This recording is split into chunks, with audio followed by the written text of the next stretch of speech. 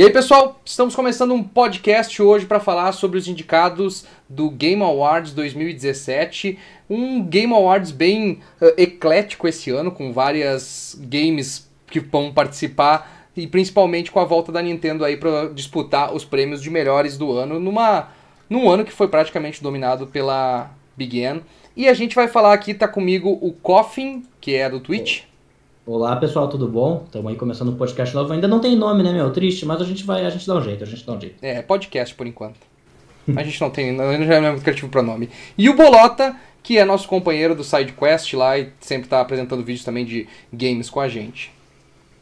Ó, vamos agora voltar a falar, né? Eu tinha ficado meio sumido um pouco do, do canal, mas agora, quando se trata de games, eu já apareço de novo. Que nem quando tem um doce, aparece uma, umas formigas em volta. Eu sou uma dessas formigas. É, a gente, o, o Leandro sempre tá com a gente também, uh, falando de games, trazendo reviews e outras coisas por aí, por aí vai. A gente está também tentando trazer um pouco mais de games esse ano, já que foi um ano que a gente conseguiu aí uma grande, algumas conquistas aí pro canal. E o Coffin também aí com as, o seu trabalho aí direto no Twitch, está sempre fazendo transmissões, também participa com a gente do grupo do Nintendo Switch Brasil, que também vai estar... Tá, a gente vai estar tá divulgando esse podcast lá, já que é um dos grupos que a gente participa todo mundo junto. E vamos começar então, porque nós temos um Game Awards aí inteiro, inúmeras categorias, 350 categorias para participar, porque eles querem premiar todo mundo esse ano. e a gente vai pular, obviamente, aquelas de esportes que ninguém tem de bosta nenhuma de esportes aqui. É basicamente. Verdade, a gente tem que pular essas categorias e coisas tipo game estudantil.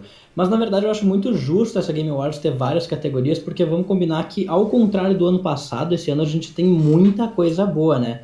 Tem muita categoria para premiar e parece que falta ainda alguma coisa para alguns jogos específicos.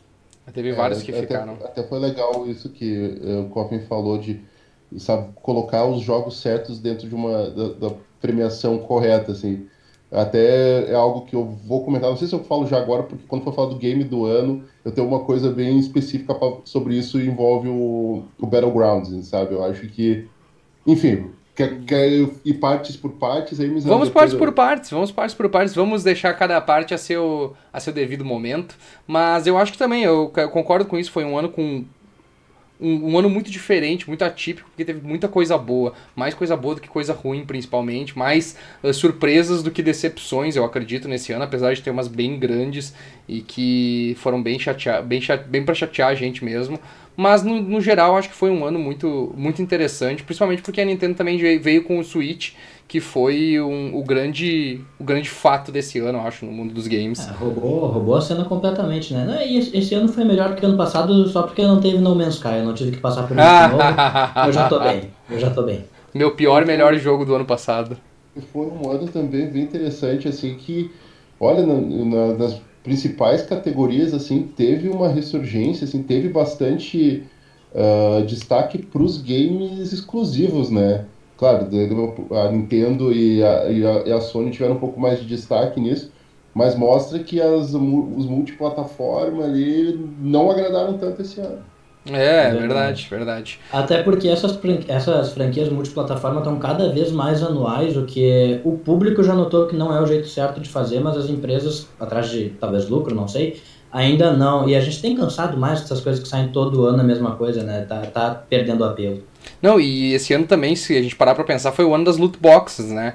Todas as empresas, a sua maior parte, quer dizer, apostaram uh, ferozmente no, naquele sistema que é basicamente um, um caça-níquel versão uh, não, não regulada ainda, né?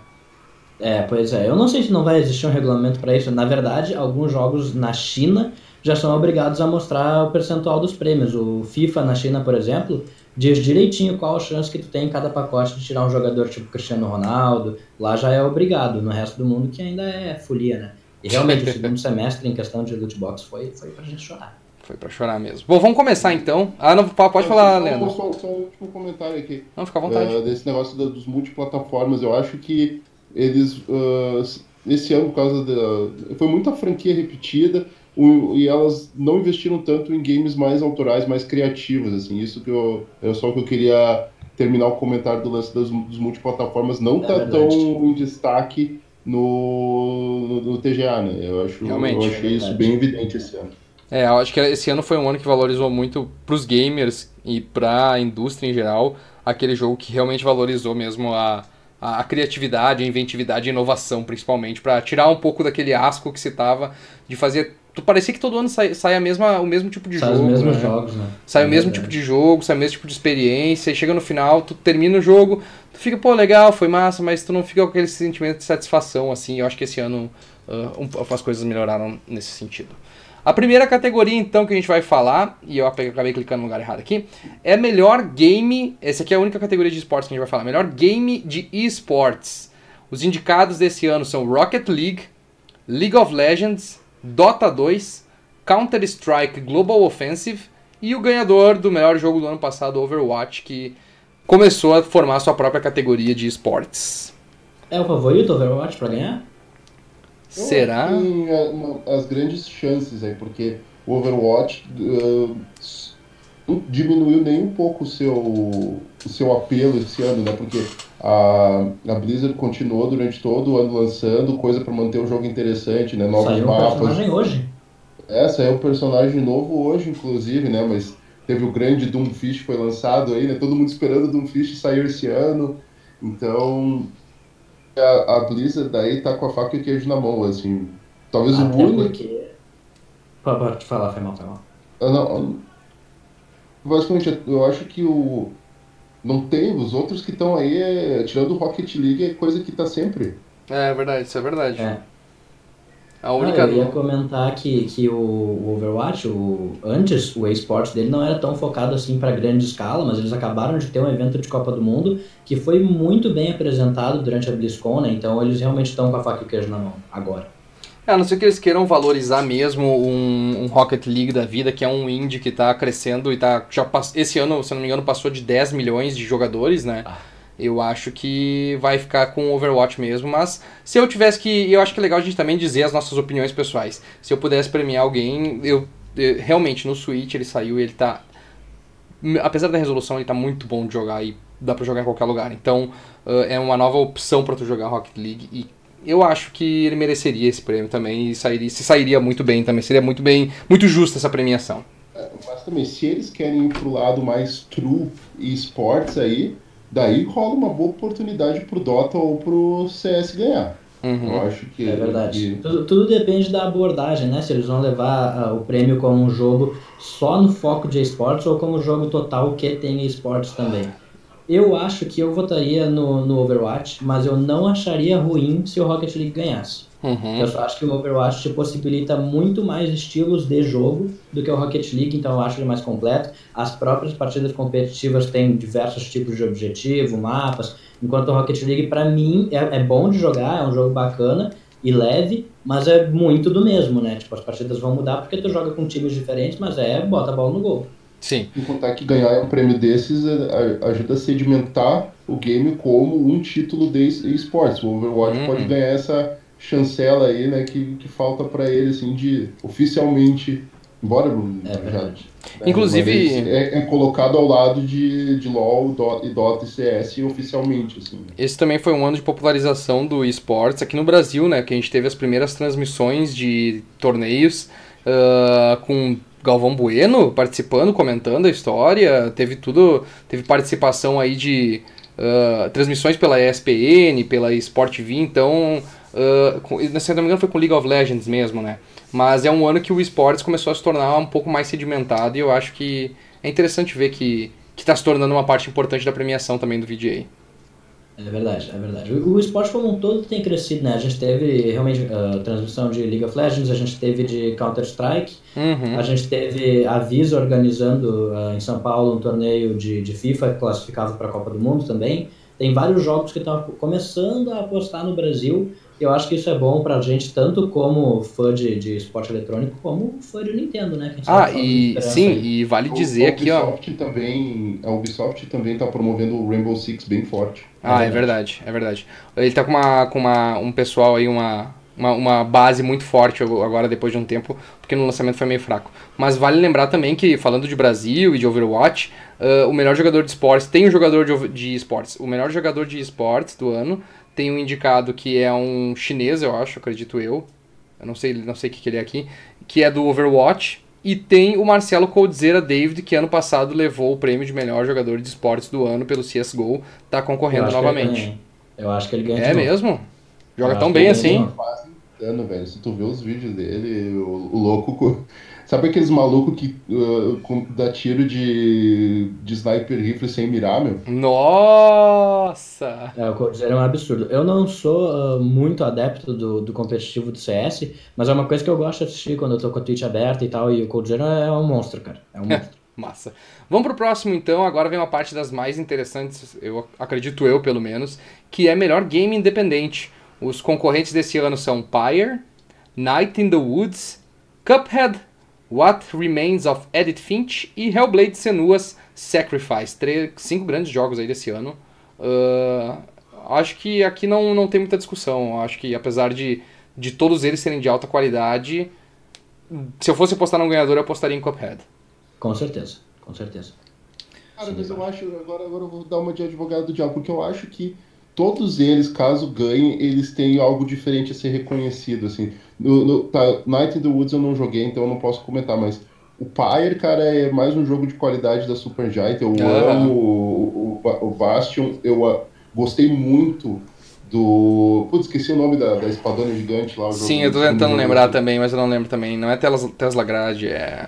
Não, não, mas enfim, eh, eu esqueci o nome dele, mas eu achei do caralho. E o Pyre, cara, é, é tão bom quanto os outros. Claro que não chega ao nível do Bastion, mas é legal essa, essa, essa combinação de história com jogabilidade old school, assim, sabe? Uma direção de arte, música muito foda, sabe? É um, um jogo equilibrado. É, Uhum. eu gostei de alguns jogos indie que nem estão aqui, eu acho que poderiam estar, mas não pelo motivo sobre o qual a gente vai conversar depois. Por exemplo, tá em acesso antecipado, mas é muito bom o Dead Cells, é espetacular. Uhum. É, aqueles jogos de, de permadeath, que tem que começar tudo de novo sempre e tal. Sim. Mas faz muito tempo que eu não via um jogo de 20 reais tomar o mundo que nem Cuphead fez. E É, por isso é motivos. foda.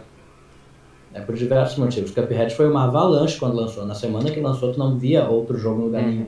Ele é Ah, considerado. Steam League, eh, Steam League World 2, né? Também. Steam, Steam World Dig 2. É, ele é bom, mas ele é, É, mais. Ele é muito parecido com o primeiro ainda. Eu acho que. uh, desses É, aqui que estão, eles merecem um pouco tem- mais. Ah, Tem um fator de inovação muito grande. Mas, por exemplo, o Senua Sacrifice, cara, eu, é um jogo que um estúdio não muito grande fez, Sim, é, aham. ah, tem o, eles já fizeram jogos grandes, né, como o Enslaved e tal, não eu esqueci o nome do, do estúdio que agora tá embaixo aqui, Ninja Theory. Isso, isso aí. É, mas, mas para um estúdio independente que resolveu fazer as coisas com o próprio recurso, é quase um jogo AAA, cara, em termos de gráficos e de história. Eu achei Sim, ele é um AAA independente. Foi assim que eles venderam o jogo, né? É, na É. verdade, eu tenho que concordar. É, é- é um jogo muito massa, ele é lindo e ele não é caro. Até aqui no Brasil ele é 55 reais, se eu não me engano. Isso, isso O aí. problema é que, por exemplo, eu pra votar num jogo do ano, eu levaria muito em conta o fator replay. E o Hellblade é muito focado em narrativa, então, tipo, se tu já jogou ele, é que nem jogar Heavy Rain de novo, só que sem a possibilidade de ter tantas coisas diferentes.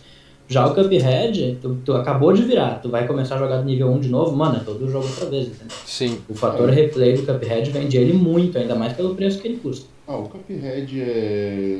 Eu, eu até- eu só tava querendo fazer isso daí mostrando como cada um deles foram, foram, foram grandes jogos independentes da sua maneira, mas o Cuphead realmente tá em outro nível, assim, é um jogo É, muito hypado e que entregou, né, chegou e entregou o que prometeu. É, e É tem, e tem o What Remains of Edith Finch, que é um, walking sim, é um walking simulator também, né? E que teve bastante destaque. Eu acho que é o que mais se diferencia desses aqui em termos de, de ser o único que não oferece, assim, vamos dizer, um, uma coisa mais ação ou um pouco mais de quebra-cabeça. É uma coisa mais mesmo de eh, narrativa mesmo. Esse aqui é focado na narrativa, né? Experiência e tal. Mas o TGA, o Gone Home ganhou um ano, né? Não teve no, É. no, ano, no ano dele o Gone Home ganhou. Uhum. Então, daqui a pouco não é de se surpreender se o Edith Finch ganha. Mas eu acho que dentre é esses aqui, eu, é, é, vão ter que levar em consideração que quem, quem vota no Game Awards é, são 30 jornalistas de veículos que são bem conhecidos, ah, tem renome internacional, são youtubers, são sites, são, são realmente. É, a- é a imprensa, né? E a imprensa vai. Deu, va- valorizou muito o Cuphead esse ano, eu acho que também não tem como a gente fugir muito desse prêmio. E eu acho que não, não, não, não é injusto também. Eu acho que nem qualquer um desses que leva, leva bem. É, Ah, não, eu- certeza. Mas vou fechar em Cuphead aí, porque eu acho que é o... é, aqui, aqui eu acho que a escolha é, é unânime. É unânime, é unânime. É interessante a gente falar agora que o voto do público vai render só 10% da apuração do final. Então, mesmo Sim, que o jogo ganhe unânime pelo público, não significa basicamente nada na hora da entrega do prêmio. Exatamente. É uma porcentagem apenas para o público sentir que participou ou para sedimentar uma vitória também, né? Tem tudo isso, né? É. Bom, Uh, partindo desse, então, vamos pro próximo. Cuphead levou no melhor game independente do nosso VGA aqui, do nosso Game Awards. Essa aqui é um ano de 2018, promete ser o ano de, de PlayStation 4, né? Game mais antecipado do ano. Nossa, Nós temos. Essa é... essa é difícil. The Last of Us Parte 2, Red Dead Redemption Parte 2, uh, Parte 2 não, 2, uh, Monster Hunter World, Marvel's Spider-Man e God of War quatro, vamos dizer assim, né? Cara, esse ano, esse ano tá muito difícil. Posso começar? Vai firme, manda ver. Eu tô, tô esperando basicamente todos esses jogos. Já não sou tão ligado na franquia, na franquia Monster Hunter, mas eu sei que é muito legal e eu também vou querer jogar. Mas por fanboyzice mesmo, eu acho que o meu mais antecipado é o Spider-Man. De verdade, eu gosto muito do, de tudo que o estúdio fez nos anos recentes. Uh, Sunset Overdrive, a, a, a mobilidade é fantástica então, eu, eu tô muito ansioso pelo Spider-Man no ano que vem. É da Insomniac esse, né? É, da Insomniac, uhum. exatamente. Leandro? Marvel Spider-Man quase seria o meu, meu, esperado. Se ele fosse da Sucker Punch, seria o meu mais esperado. Eu, quando eles anunciaram da, da PlayStation, esse é o jogo da Sucker Punch. Depois apareceu o Insomniac. Eu fiquei feliz, mas não tão feliz como se, se fosse da Sucker Punch. eu sou fã da, da, dos jogos da Sucker Punch, então. Mas, enfim, vamos. O meu, meu esperado não poderia ser outro. Red Dead Redemption 2. Uhum. Esse provavelmente que vai ser, eu acho que vai concorrer, sem dúvida nenhuma, ao melhor jogo do ano também no ano que vem. A gente vai estar discutindo muito ah, se ele merece ou não levar também, porque eu acho que vai ser, vai ser o o indiscutível do ano que vem, mas vai ser um ano muito difícil o ano que vem. Pá! Mas aí, aí é que tá o interessante, tipo, eu disse o jogo que eu tô mais ansioso, mas isso não muda o fato de que eu tô muito ansioso para todos os claro, outros. Com isso certeza. é muito bom. Nós estamos assim. Eu acho que só o Monster Hunter que o cara não fica tão no hype, mas a gente sabe que tem um grande público esperando isso. Tem, tem. Se eu fosse fazer por eliminação, eu tiraria Monster Hunter, porque realmente não me interessa. Uh, e aí eu teria que decidir, cara, e é difícil. Eu só não vou pegar o Last of Us Parte 2 porque eu ainda não consegui virar o original e do pouco da, daquilo que eu já joguei, vergonha, eu gostei. Cara, eu tô terminando, eu tô, eu tô terminando ele em live. É, e eu vou te dizer bom. o seguinte, eu tá ok pra mim, mas não é tudo isso que todo mundo falava, mas ok. E eu vou de ah, Red é Dead Redemption Agora ele já tem 4 anos, né? Agora não, eu entendo. eu entendo, eu entendo, eu entendo perfeitamente tudo isso. Uh, mas ainda assim, quando eu joguei, por exemplo, o Wind Waker, eu me, me apaixonei mais pelo jogo do que me, ah, me apaixonando sim. pelo The Last of Us Part 2. E eu joguei o Wind Waker 10 anos depois, hein? ah, eu achei é diferente, mas, mas eu entendo completamente, eu entendo completamente a tua opinião. Uhum. Se tu tivesse jogado no PlayStation 3 ali, cara, foi um, foi um choque pra quem jogou naquela foi, época, assim. Foi. Eu imagino, eu, eu imagino. Eu tenho até, até hoje um amigo, um amigo meu acabou jogando esses dias e me falou a mesma coisa, se apaixonou pelo jogo. E eu acabei, tá, tô jogando, tô curtindo, nada demais, só que, né, tá indo. Tô, vamos lá, vamos ver. Quem sabe quando eu terminar eu mude de ideia. Mas por enquanto eu vou de Red Dead Redemption 2, mesmo não tendo jogado o original. Mas é o jogo que mais me cativou. Eu acho que esse leva o prêmio. Tá? O meu mais esperado é God of War. Tu acha que ele leva o mais antecipado no que Eu acho, e eu acho que e o, meu, e o meu voto vai para o meu voto de quem merecia é God of War. Ah, mas só um negócio, sem querer ser fanboy, mas, embora eu seja um pouco, não vou. Mas três exclusivos da Sony, puta que pariu. Puta que pariu. É.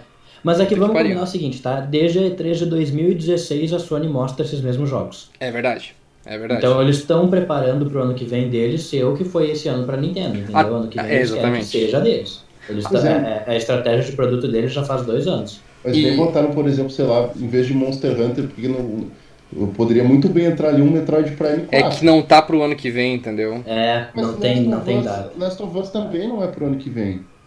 Sim, é. Last of, Last of Us 2018? É 2019. Não, 2018. Não, no trailer da, da, da, PlayStation Experience, se eu não me engano, eles mostraram uh, quarto. Eu lembro que é 2018 também. É, Mas provavelmente vai atrasar, não duvido que eles vão atrasar ele também. Eles são sem vergonha, gostam de atrasar esse jogo. Mas é, assim. Naughty Dog, o Uncharted 4 foi isso, né? Um ano e meio de atrás. Mas, mas valeu a pena, o Uncharted 4 era muito bom. Sim, eu gostei bastante também dele. Achei a, e a tecnologia aqui, dele também ficou maravilhosa. Aqui, puxar uma, uma notícia aqui do dia 6 de novembro. Tá entre final de 2018 e início de 2019, mas nada confirmado pro Last of Us 2. Então é um jogo que pode não sair. É, é verdade. É, mas o Metroid Prime eles só botaram um logo, né? Como é que, como é que eles vão botar como game mais antecipado? É, não, tipo, não, não tá sendo discutido aqui o quanto eu quero mais o Metroid Prime do que o The Last of Us. Eu quero bem mais o Metroid Prime. mas a gente não tem, tipo, a menor ideia de, de quando sai. E nem como é que é, né? Também. A é. Nintendo, inclusive, para ano que vem, as coisas ainda estão um pouco quietinhas demais, Nebulosas? né? Nebulosas? É. Eu acho que ainda sai um Modern ano que vem. Bom, mas enfim, então vocês vamos votar em qual aí? Vocês votaram o Red Dead Redemption e Marvel Homem-Aranha. Beleza, então eu vou de God of War só pra desempatar. Eu vou de Red Dead Redemption, tu de Red Dead Redemption. Dois Red Dead Redemption. Dois Red Dead Redemption ganha e eu, no meu coração é God of War, porque por mais que seja uma franquia que é popular demais, eu gosto ainda muito e eu quero ver o que vai acontecer com o ah, Kratos. Mas eu, eu acho que o Red Dead vai ganhar, tá? O Homem-Aranha foi voto de coração mesmo, mas ah, eu acho tá. que o Red Dead ganha. Red Dead ganha, então. Ah, eu, vocês votam com diferente o coração e a cabeça. Eu voltei com os dois no Red Dead é que eu não joguei um, eu não tenho apelo, apelo emocional para ele. Eu pulei a geração Xbox 360, Cara, PlayStation 3. Red Dead Redemption 1 foi o game da Rockstar que eu mais amei até hoje, assim. Talvez empatado com GTA San Andreas. É, o GTA San Andreas Mas... é o meu, com certeza. Show de bola, vamos embora então levou mais antecipado Red Dead Redemption. Vamos para melhor multiplayer. Teve Fortnite, que é um curiosamente é um free to play para console, só para console, é muito bizarro isso. Call não, of... tem para PC. Sim, mas ele não é free to play para PC, é? Tem para PC. O modo Battle Royale é de graça no PC também. Ah, é de graça, legal. Call of Duty World War II, Splatoon 2, Mario Kart 8 Deluxe, Destiny 2 e PlayerUnknown's Battlegrounds, a primeira indicação do PUBG. Não tem nem dúvida, né? Splatoon 2? É, essa é uma categoria que, que eu acho tranquilo o PUBG ganhar. Essa, melhor não, multiplayer, eu acho, eu acho, que de boa o PUBG ganhar. Porque aqui não é dependente de, de inovação nem nada, é só qual é o jogo com o multiplayer mais arrojado do ano. E pelo amor de Deus, PUBG quebra um recorde por semana, né? É, é uma coisa absurda. Número de jogadores, uh, número de. É. Tá absurdo. O negócio, o jogo polarizou muito. Fala, Leandro. O engraçado de tudo é que um semi-hip-off de PUBG entrou no, no, na competição. Exatamente, né? Fortnite. O, o, Fortnite ali, todo mundo é hip-off do, do, do, do PUBG ali, mas tá junto. É, é PUBG bem é o Fortnite também. É Pub, bem PUBG que é, um, é um, também um, um hip-off do H1Z1, né? Então, tipo, sim, cada sim. um é um hip-off do outro, né? Aí é que tá toda a questão em volta do PUBG para mim. É até onde ele realmente é inovador. Eu não vou pôr em xeque a questão do quanto ele é divertido, ele é um jogo sensacional. Mas o quanto ele realmente é inovador e o quanto ele realmente busca de outras coisas. Essa é, é tá aí o emblema do PUBG pra mim. Essa é a discussão que a gente vai ter quando chegar na última categoria, né? Com certeza. É, exatamente. Com certeza. E a outra coisa, Call of Duty, vocês não gostaram então do, do eu sistema. Gostei, eu do gostei não, vocês não gostaram do sistema de ficar assistindo loot boxes para liberar mais loot boxes? Eu acho que isso é tão inovador.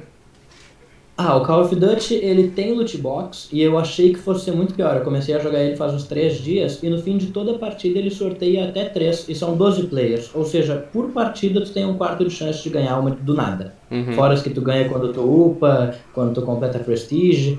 Sim. E mesmo sem as loot box, tu desbloqueia os itens naturalmente com level up, como era lá no Modern Warfare 2, uhum. 3 eu não acho tão preocupante a loot box no COD. É, é, o problema é que eles tornaram uma. Eles estão meio que te induzindo a olha que legal que são as loot boxes. Primeiro que eles pegam e abrem. Quando, tu, quando alguém recebe uma loot box, ele abre na frente de todo mundo pra tu ficar. Hum, pois é, né? Eu queria aquela loot é. box. É. E aí eles te pagam, te incentivam pra tu ficar assistindo. Pra tu ficar com mais vontade ainda de comprar a loot box. É, então, é, é essa intenção maligna, assim, que eu acho o problema, né?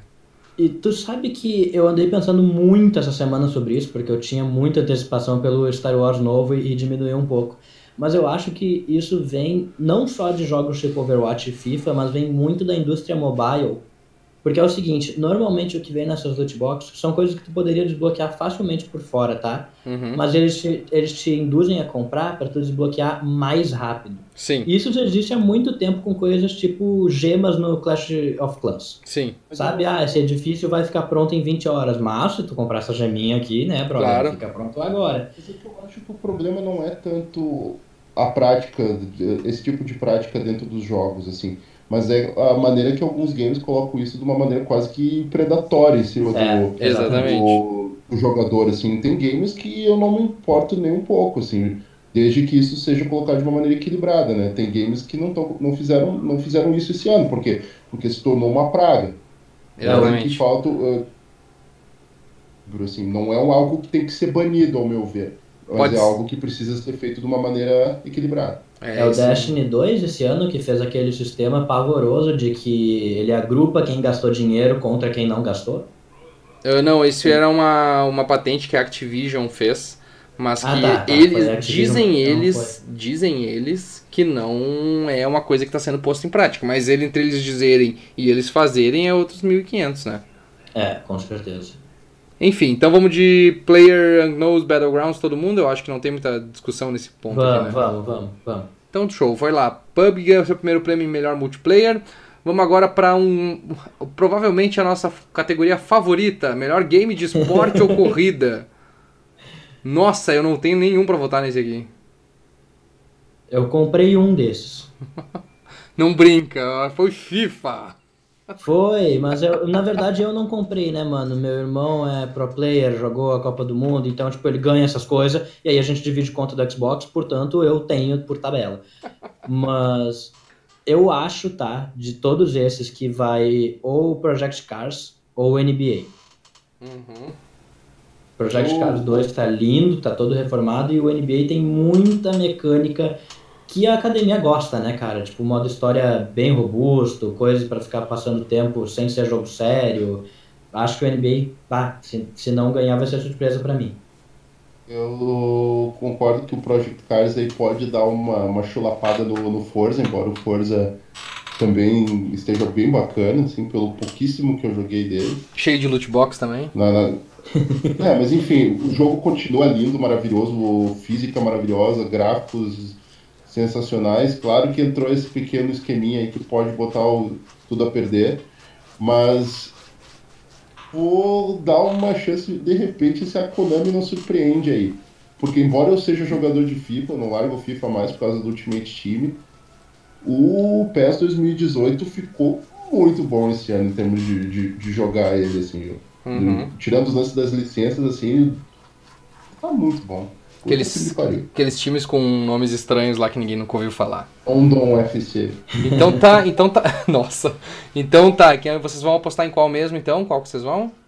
Eu fui de NBA. Tá, de- ah, Leandro? Ah, eu, só pela polêmica, eu ia dizer Project Cars, mas eu, eu, vou, eu vou botar o PES aí, só pra de, meio na loucura, assim, porque tá tudo meio igual nessa categoria. É bastante. Eu vou de Então- Força Motorsport porque, enfim, sei lá, qualquer um aí, foda-se. Não sei que eu não sei nada desses jogos aí.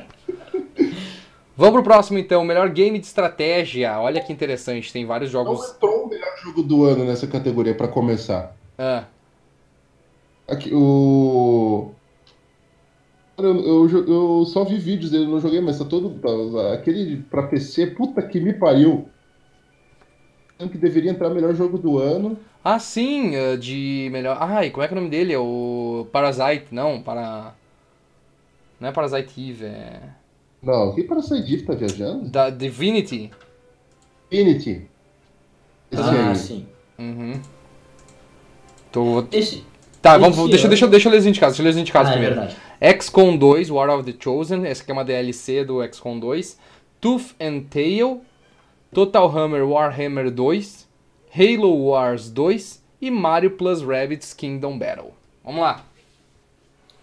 Eu acho que se fosse o XCOM 2 normal era capaz de ganhar, mas eu não acho que eles vão dar ah, o GOT pra uma DLC. Pois é, eu acho difícil também.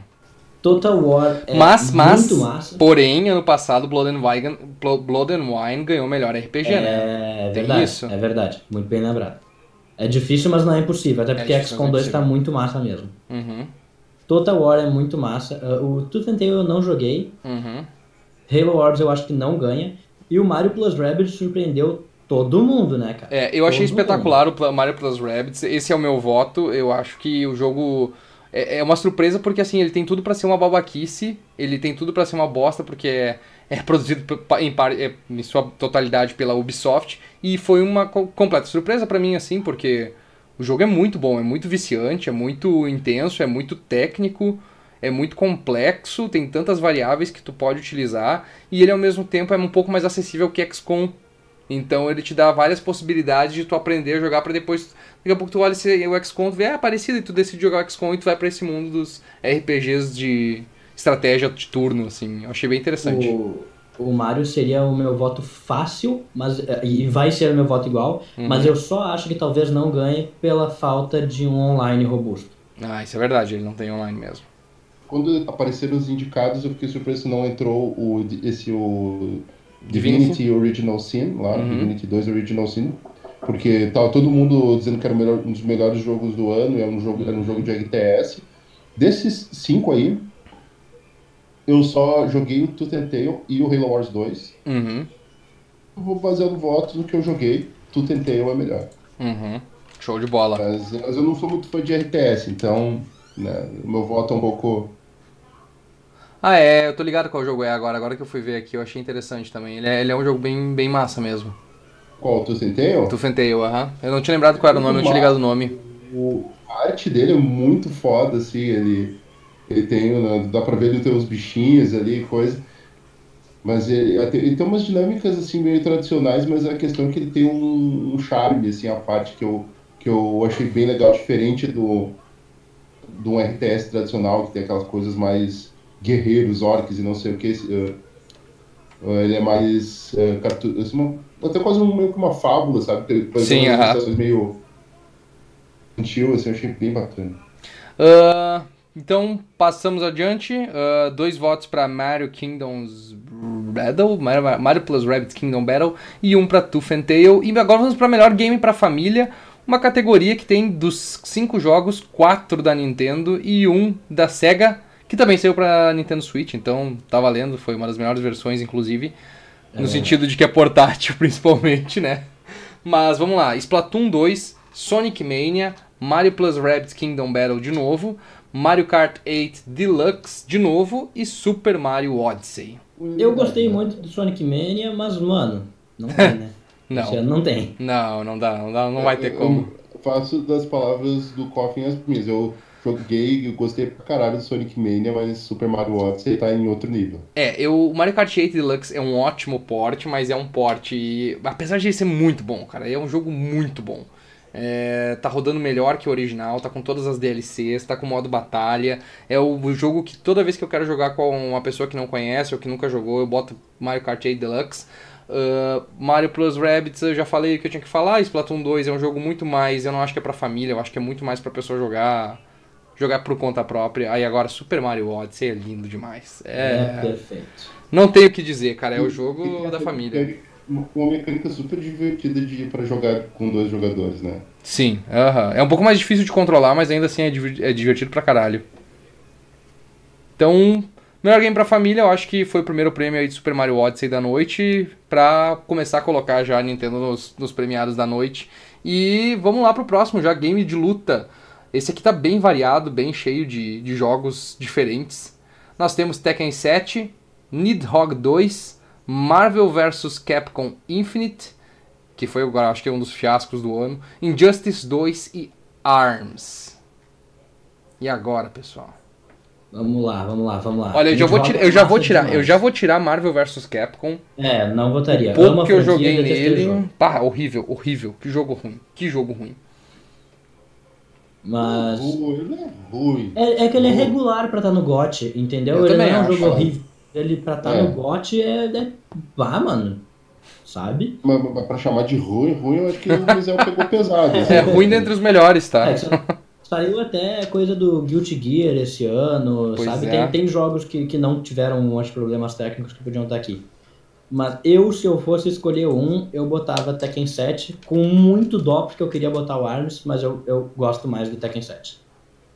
Uh, eu acho assim, ó, tem dois jogos aí que tem um, uh, um apelo, assim, vamos dizer que fizeram algo diferente dentro dos jogos de luta, que foi o Nidhogg e o ARMS. Aham. Então eu acho isso bem legal, bem louvável de estar os dois no- no- entre os cinco indicados. Mas, assim, eu achei bem legal o Injustice.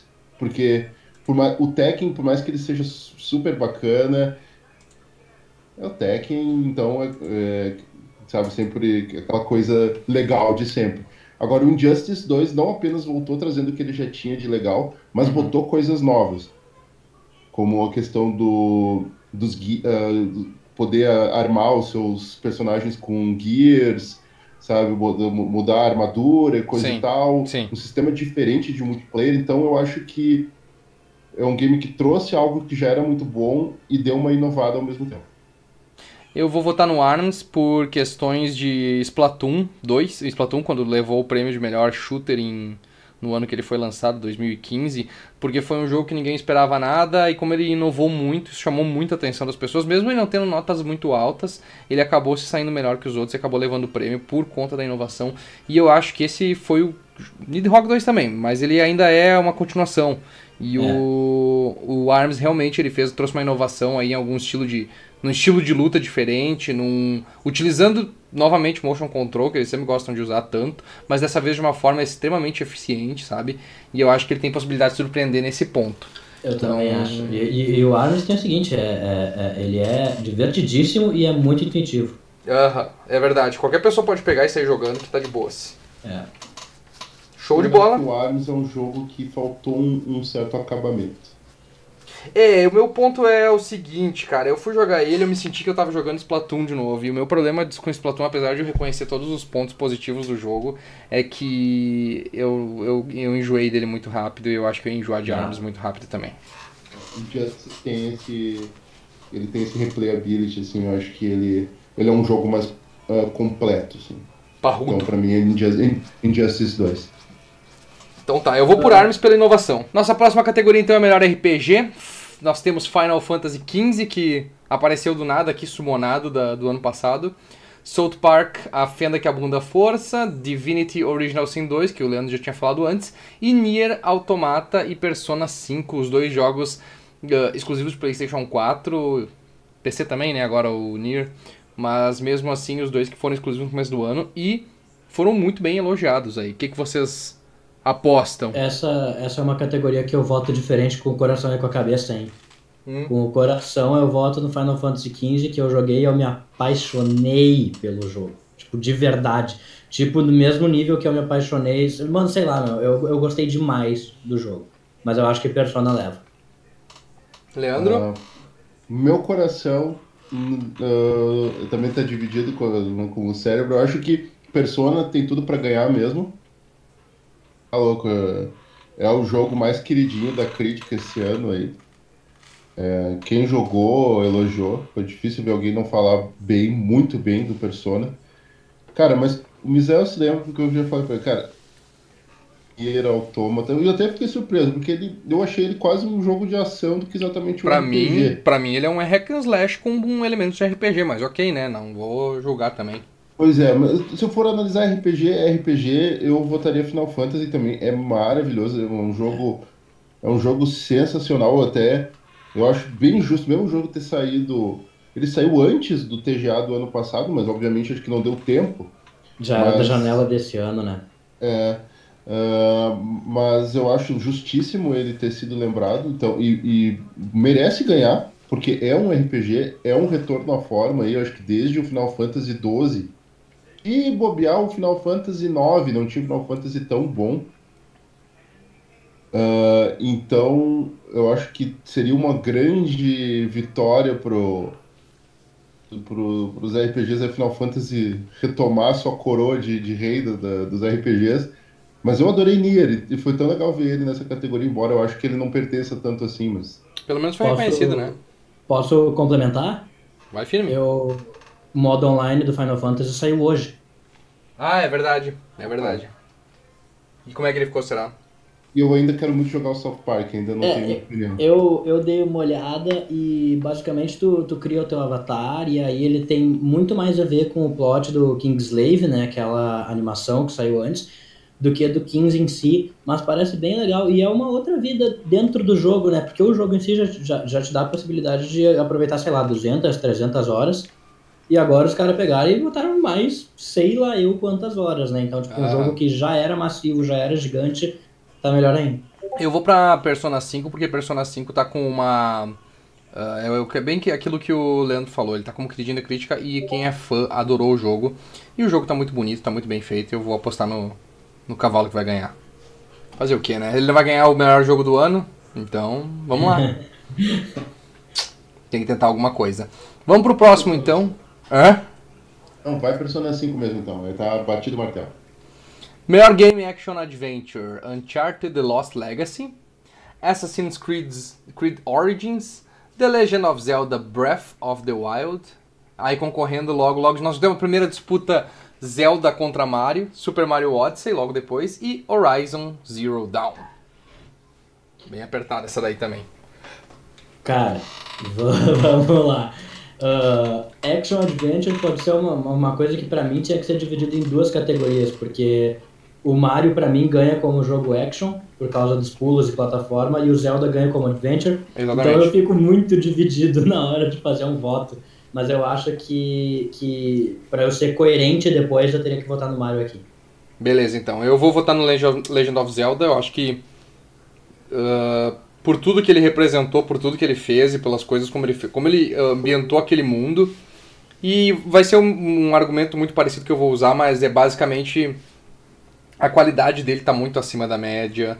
Ele tá. Ele transcende um pouco assim a mídia gamer. Eu, não tem como não. Pra mim não tem como não ser Legend of Zelda Breath of the Wild. Leandro? Eu tenho minhas ressalvas quanto a Legend of Zelda, eu falei isso. e eu gostei pra caralho do Mario. Mas eu vou dizer que o jogo que eu mais joguei desse- de Action Adventure, assim, que pra mim deu uma experiência completa e satisfatória, foi Horizon Zero Dawn, assim. Uhum. Eu achei.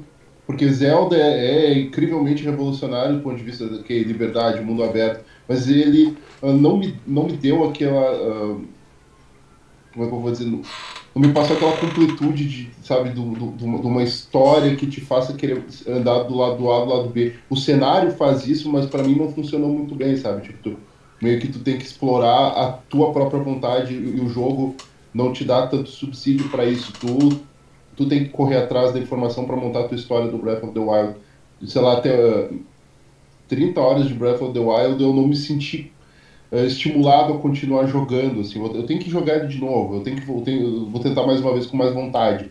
Mas, por exemplo, eu joguei umas 100 horas de Horizon Zero Dawn, assim, joguei duas vezes a campanha e eu, eu, eu achei um jogo muito completo. Assim, ele tem a ambientação maravilhosa, tem um, um mundo cheio para explorar, tem história, tem missões legais, tem um universo novo e criativo.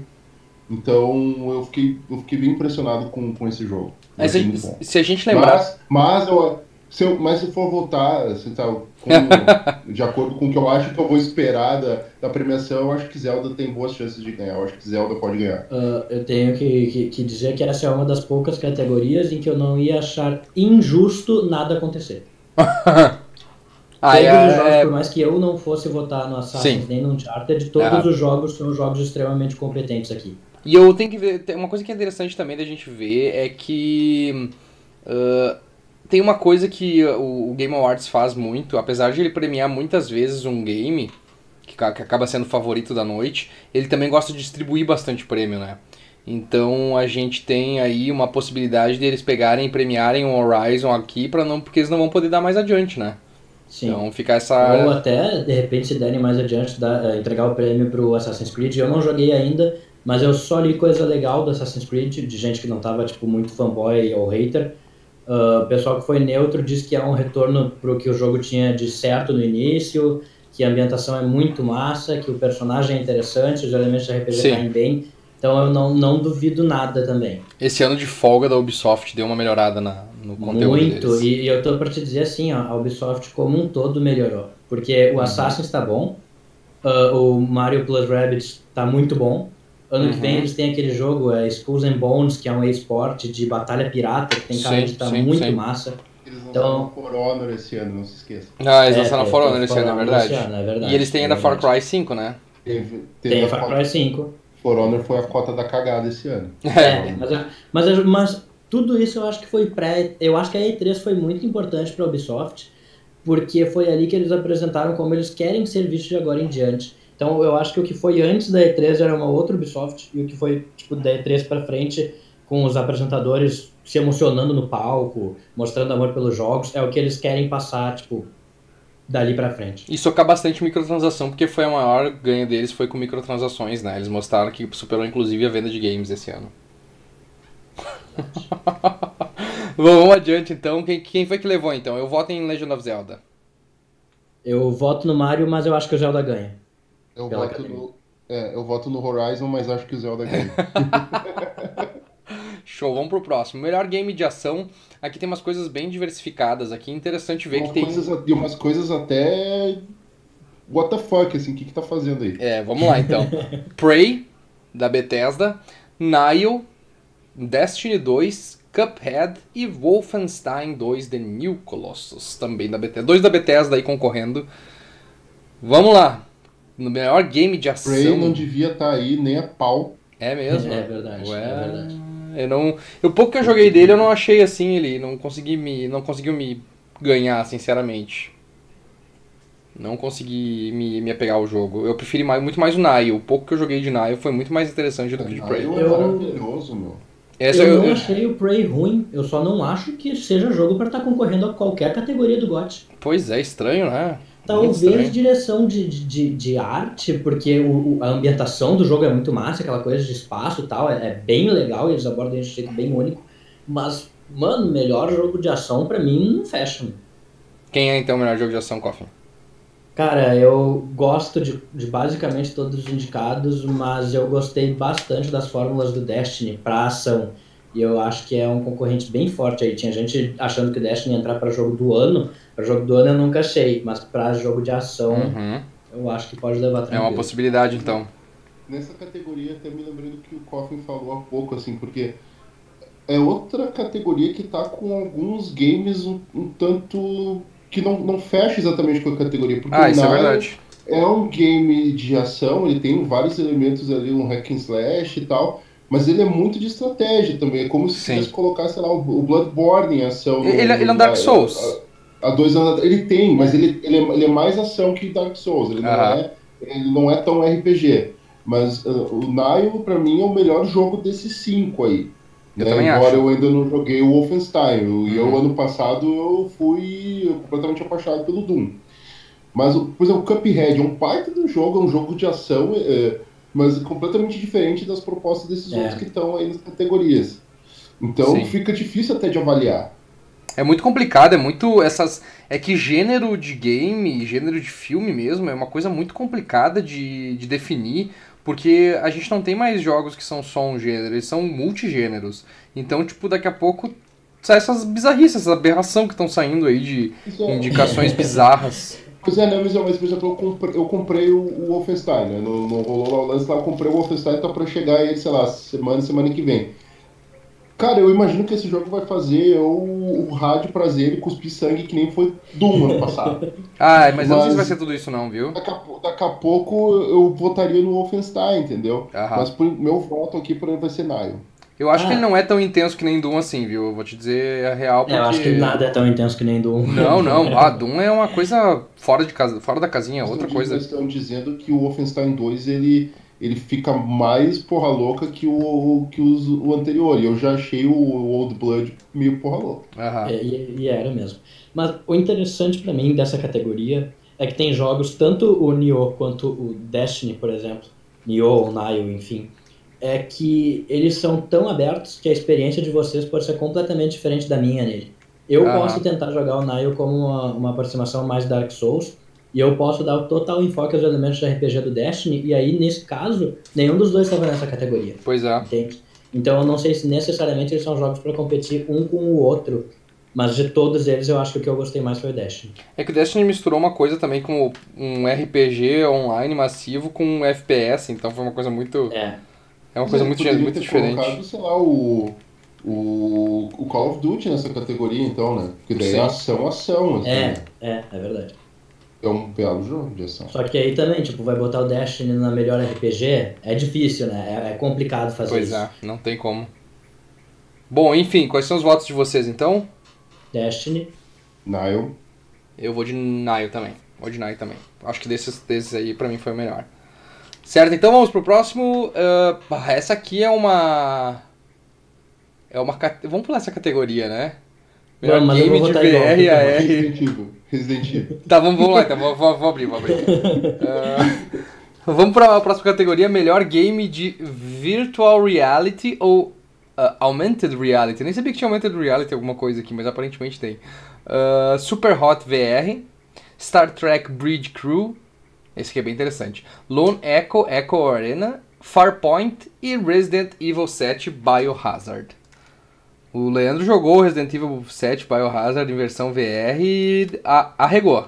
Arregou. Eu, arreguei, eu não joguei muito além do. ah, até que parte eu fui? Eu acho que eu fui até. um Até tu, depois que ele da- começa a te quando- caçar dentro da quando- casa. Quando o, o pai maluco lá tava me perseguindo dentro da casa. Ah, Isso aí. Mano, eu vou, vou te dizer assim, ó. Ah, eu não joguei, mas pelo que eu pude perceber, o Resident Evil em VR é muito legal, mas não pelo, só pelo VR em si, e sim pela categoria em que eu vou votar nele depois, possivelmente, que se eu não me engano é é toda a direção de som. A atmosfera do Resident Evil 7 para VR ficou sensacional. Cara, Ficou eu- sensacional. Assim, ó, Coffin, pra mim, Resident Evil tinha que estar entre os, entre os jogos do ano. Pra mim foi. Eu achei muito legal, eu achei muito legal. O plot me decepcionou depois do. Lá no. Se eu dividir em três partes, a terceira me deixou chateado. Mas o jogo é muito bom, é muito bom mesmo. É excelente, é. Resident Evil foi, ah, junto com o Nier, foi. ah, o Nier Automata foi. ah, e o Horizon foram as melhores experiências que eu tive em videogame esse ano. Eu, Ah, claro, Mario Odyssey. Mario Odyssey. Ah, eu vou votar no Star Trek Bridge Crew, porque eu tô viciado em Star Trek agora. Eu queria muito poder controlar uma. Ele tá na bridge de Star Trek, Mas, então. mas eu vou. Tem que admitir, ah, o Resident Evil 7 é muito legal em VR, mas é cansativo. Eu acho que Pois é. esse é um grande, de- é o grande desafio dos games em VR. E é, É, por, não isso, tornarem cansativos. por isso que o meu voto vai pro Super Hot. Super Ah, e Super é um Hot espetacular, né? frenético, Frenético. E em VR tu não para um segundo. Então, tipo, o Super Hot, pra quem não tá ligado, é um jogo que só se move quando o teu personagem se move, caso contrário o tempo também congela. E ele é muito rápido. Ele é um puzzle de ação assim que não para nunca. E, e- e a ambientação é muito massa, todos os teus inimigos são em vermelho, tudo que tu pode usar pra bater neles vem em preto, se eu não me engano. E é muito legal. É um jogo que encaixa perfeitamente com VR. Por isso que eu voto nele mesmo achando o Resident muito competente. Show de bola, então. Eu falei brincando, não, obviamente que eu não vou votar em Star Trek, porque eu não joguei esse jogo, não sei nem como é que ele é. Mesmo que eu quisesse estar numa bridge comando, eu vou votar no Resident Evil 7 pelo pouco que eu vi e pelo cagaço que ele deu no Leandro, valeu a pena já pelo ano. Vamos lá. Melhor game pra portátil. Esse aqui é um que basicamente é só jogo de 3DS. É marmelada, né? É marmelada aqui, né? Porque, né, vamos botar o quê? Vamos botar o Vita? Não, mas acho que, acho que o Switch podia entrar aí, mas ok, né? Vamos É, eu também assim. acho. Mas é. Put in Yoshi's Woolly World, Monster Hunter Stories, Metroid Samus Returns, Fire Emblem Echoes e Ever Oasis, que é um novo IP. ah, pare- foi- fez um bom sucesso aí dentre os, os fãs de RPG. Ah, eu vou votar em Metroid Samus Returns. Acho que não Eu- tem muito o que dizer, é o retorno do. Metroid, tá ligado? Então, retorno do Metroid tem que valorizar, vamos valorizar, olha aí, jogaço. Ah, eu concordo, eu concordo completamente. Mas é remake e eu não sei se eu conseguiria ah, votar num remake sabendo da coragem que a Nintendo teve com o Ever Oasis, que todo mundo diz que é espetacular. Uhum. Mas no, no fim das contas, eu acho que mesmo sendo remake, eu vou, vou votar no, no Metroid. Mas eu fico com esse, com esse pezinho de quem é que vai ganhar. É porque é muito legal, é muito legal. Mas é um jogo que já existia, né? Mas eu fico com esse Sim, pezinho sim, aí sim. se o Ever Oasis não, não leva. É que eu acho que a questão do Metroid é, algo, é que teve que depois daquela decepção que foi o, o Federation Force, que fizeram todo aquele drama, cara. Eu acho que não tem como, como fugir disso, sabe? Tipo, é uma coisa que eles precisavam de uma redenção e eles conseguiram fazer a redenção É, deles. não, é verdade, é verdade. Leandro, tu vai tentar votar em algum? Ah, eu vou votar só pela vontade de votar em Metroid. Então eu vou. eu não joguei nenhum desses games, então. É, sou ah, 3DS Metroid aqui, né? É o, é o meu, é o meu voto apenas de participação. Ah, e vale a pena dizer que esse é o canto de cisne, basicamente, 3DS, né? Não sei se tem muita coisa vindo nos próximos anos aí pra É ele. verdade, é verdade. Então- Inclusive, o último jogo grande de 3DS sai nesse exato minuto, né? Que é o Pokémon Ultra Verdade. Sun e Ultramon. Verdade, tá saindo agora, é Ultrason Entra 1. E, eu acho, e pelo que tudo se deu a entender, o último Pokémon pra 3DS normal, né? Não sei se eles ainda vão lançar É. pra New 3DS, se eles vão continuar mantendo, vamos ver. Melhor Essas- game. essas- essas- não, só uma última coisa. Vai lá, vai lá, As- vai lá. As imagens que eu vi do Ever Oasis me deu muita vontade de jogar. Parece muito legal. E, e por ser ah, remake, eu não sei se a academia vai de Metroid. Eu vou, mas eu não sei se É, é vão. que como é, é os jornalistas que estão votando, cara, eu não duvido, sabe? Tipo, vamos dar uma olhada. É. Ever o Oasis é é é-. Eles podiam ter lançado Ever Oasis direto pro Switch. Eu não sei porque que eles ainda apostaram nessa. Mas enfim. É o público deles, eles queriam vender pra aquele público É. ali. Agora que tá valendo aqui é dos mesmos criadores do Majora's Mask 3D, né? Exatamente, Então, exatamente. Esse foi o grande projeto que eles estavam tocando aí. E que parece que eles já estão aí ah, se abraçando em outros projetos aí que vão vir em seguida. Se bobear um porte de Ever Oasis pra Switch, quem sabe? Nunca se sabe, né? Vamos ver. Daí, massa. daí nós tudo joga. Daí nós tudo joga, com certeza. Todo mundo sai feliz daqui. Vamos pro próximo então. Melhor game mobile: Super Mario Run, Old Man's Journey, Monument Valley 2, Hidden Folks e Fire Emblem Heroes: Shadows of Valentia. Eu joguei o Fire Emblem Heroes e eu joguei o Super Mario Run e eu gostei muito do Fire Emblem Heroes, mesmo ele sendo um jogo cheio de microtransação, ele é free to play e cara, tu entra no jogo e ele é uma experiência Fire Emblem como qualquer outra experiência Fire Emblem que tu vai jogar assim, tipo, de graça. É, combate tático hoje não é, não é fácil de se imaginar, ainda mais para telefone. E eles deram uma fórmula bem legal, mas olha só, eu, eu adorei o Fire Emblem, eu adorei o Super Mario, mas no ano em que o Monument Valley saiu, ele ganhou tudo que foi prêmio mobile e o 2 é bem melhor que o primeiro. Então, eu não sei se ele não levem. Não, eu também acho que não. Eu, eu votei na verdade porque foi o que eu, os dois que eu joguei e aquele ali foi muito mais divertido, assim, né? E o Monument Valley realmente ele é tipo uma coisa fora de série, assim.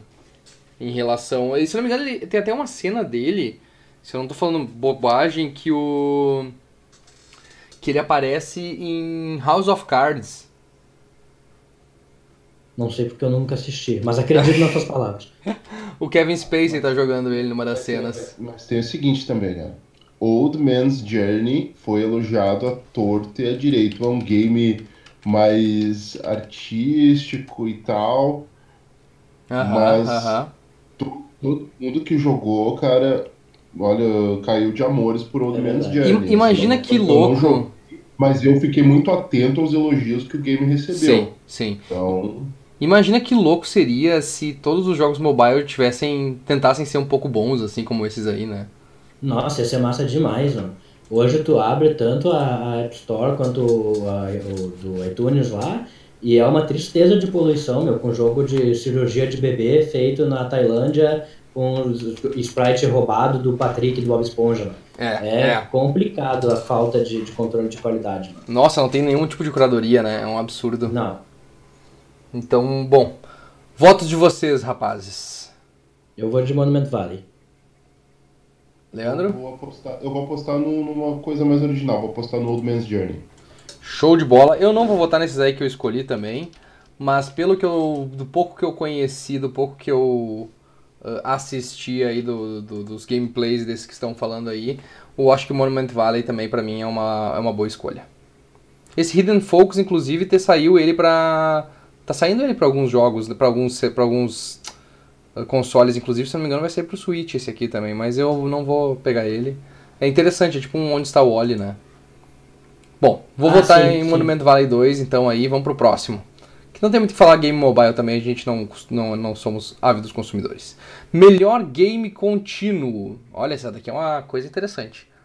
Warframe, Rainbow Six Siege, Overwatch, Grand Theft Auto Online, Destiny 2 e PlayerUnknown's Battle, Battlegrounds.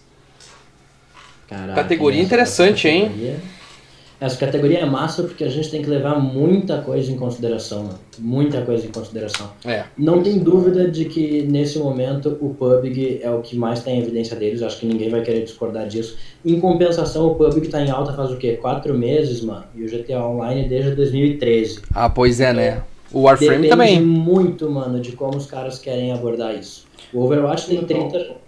E é muito, Oi? legal ver, um ga- é muito legal ver um game, por exemplo, como o Warframe, cara. Olha a Exatamente, game. exatamente. Ele foi um dos Pois é. primeiros jogos a sair pra PlayStation 4, Xbox One, né? Sempre Também free to play. 2013. Sempre free, é verdade. Uhum. E esse é uma coisa legal, porque tipo, a gente tá criticando, eu, eu, eu sempre critico loot box e microtransação forçada, esse tipo de coisa, e esse é um jogo que pelo menos fez do jeito certo. Ah, tu quer cobrar, tu quer fazer esse tipo de pau no cusagem com o teu player, beleza, larga o jogo de graça, e foi isso que eles fizeram, pegaram É. um AAA, rodando a 1080 por 60 frames por segundo, e os caras lançaram de graça com microtransação e fez sucesso. Tá vivo aí até hoje. caramba. É verdade. Sem, sem, sem usar uma coisa predatória, né? Principal de tudo. É, essa categoria pra tática. mim talvez seja a mais disputada, cara, porque ela, ela, ela envolve muitos fatores, mano. Uhum. O PUBG quebra recorde toda semana, mas ele é um jogo muito novo. O Over existe há um ano e meio e tem 36 milhões de jogadores ativos, mano. Nossa, é muita Sabe? gente. tipo, Puta é, é, é, é muito difícil de escolher isso. Muito difícil. Tu pega um game que nem o, o, o GTA Online, que o, o, o GTA saiu, puta que pariu, saiu em 2013.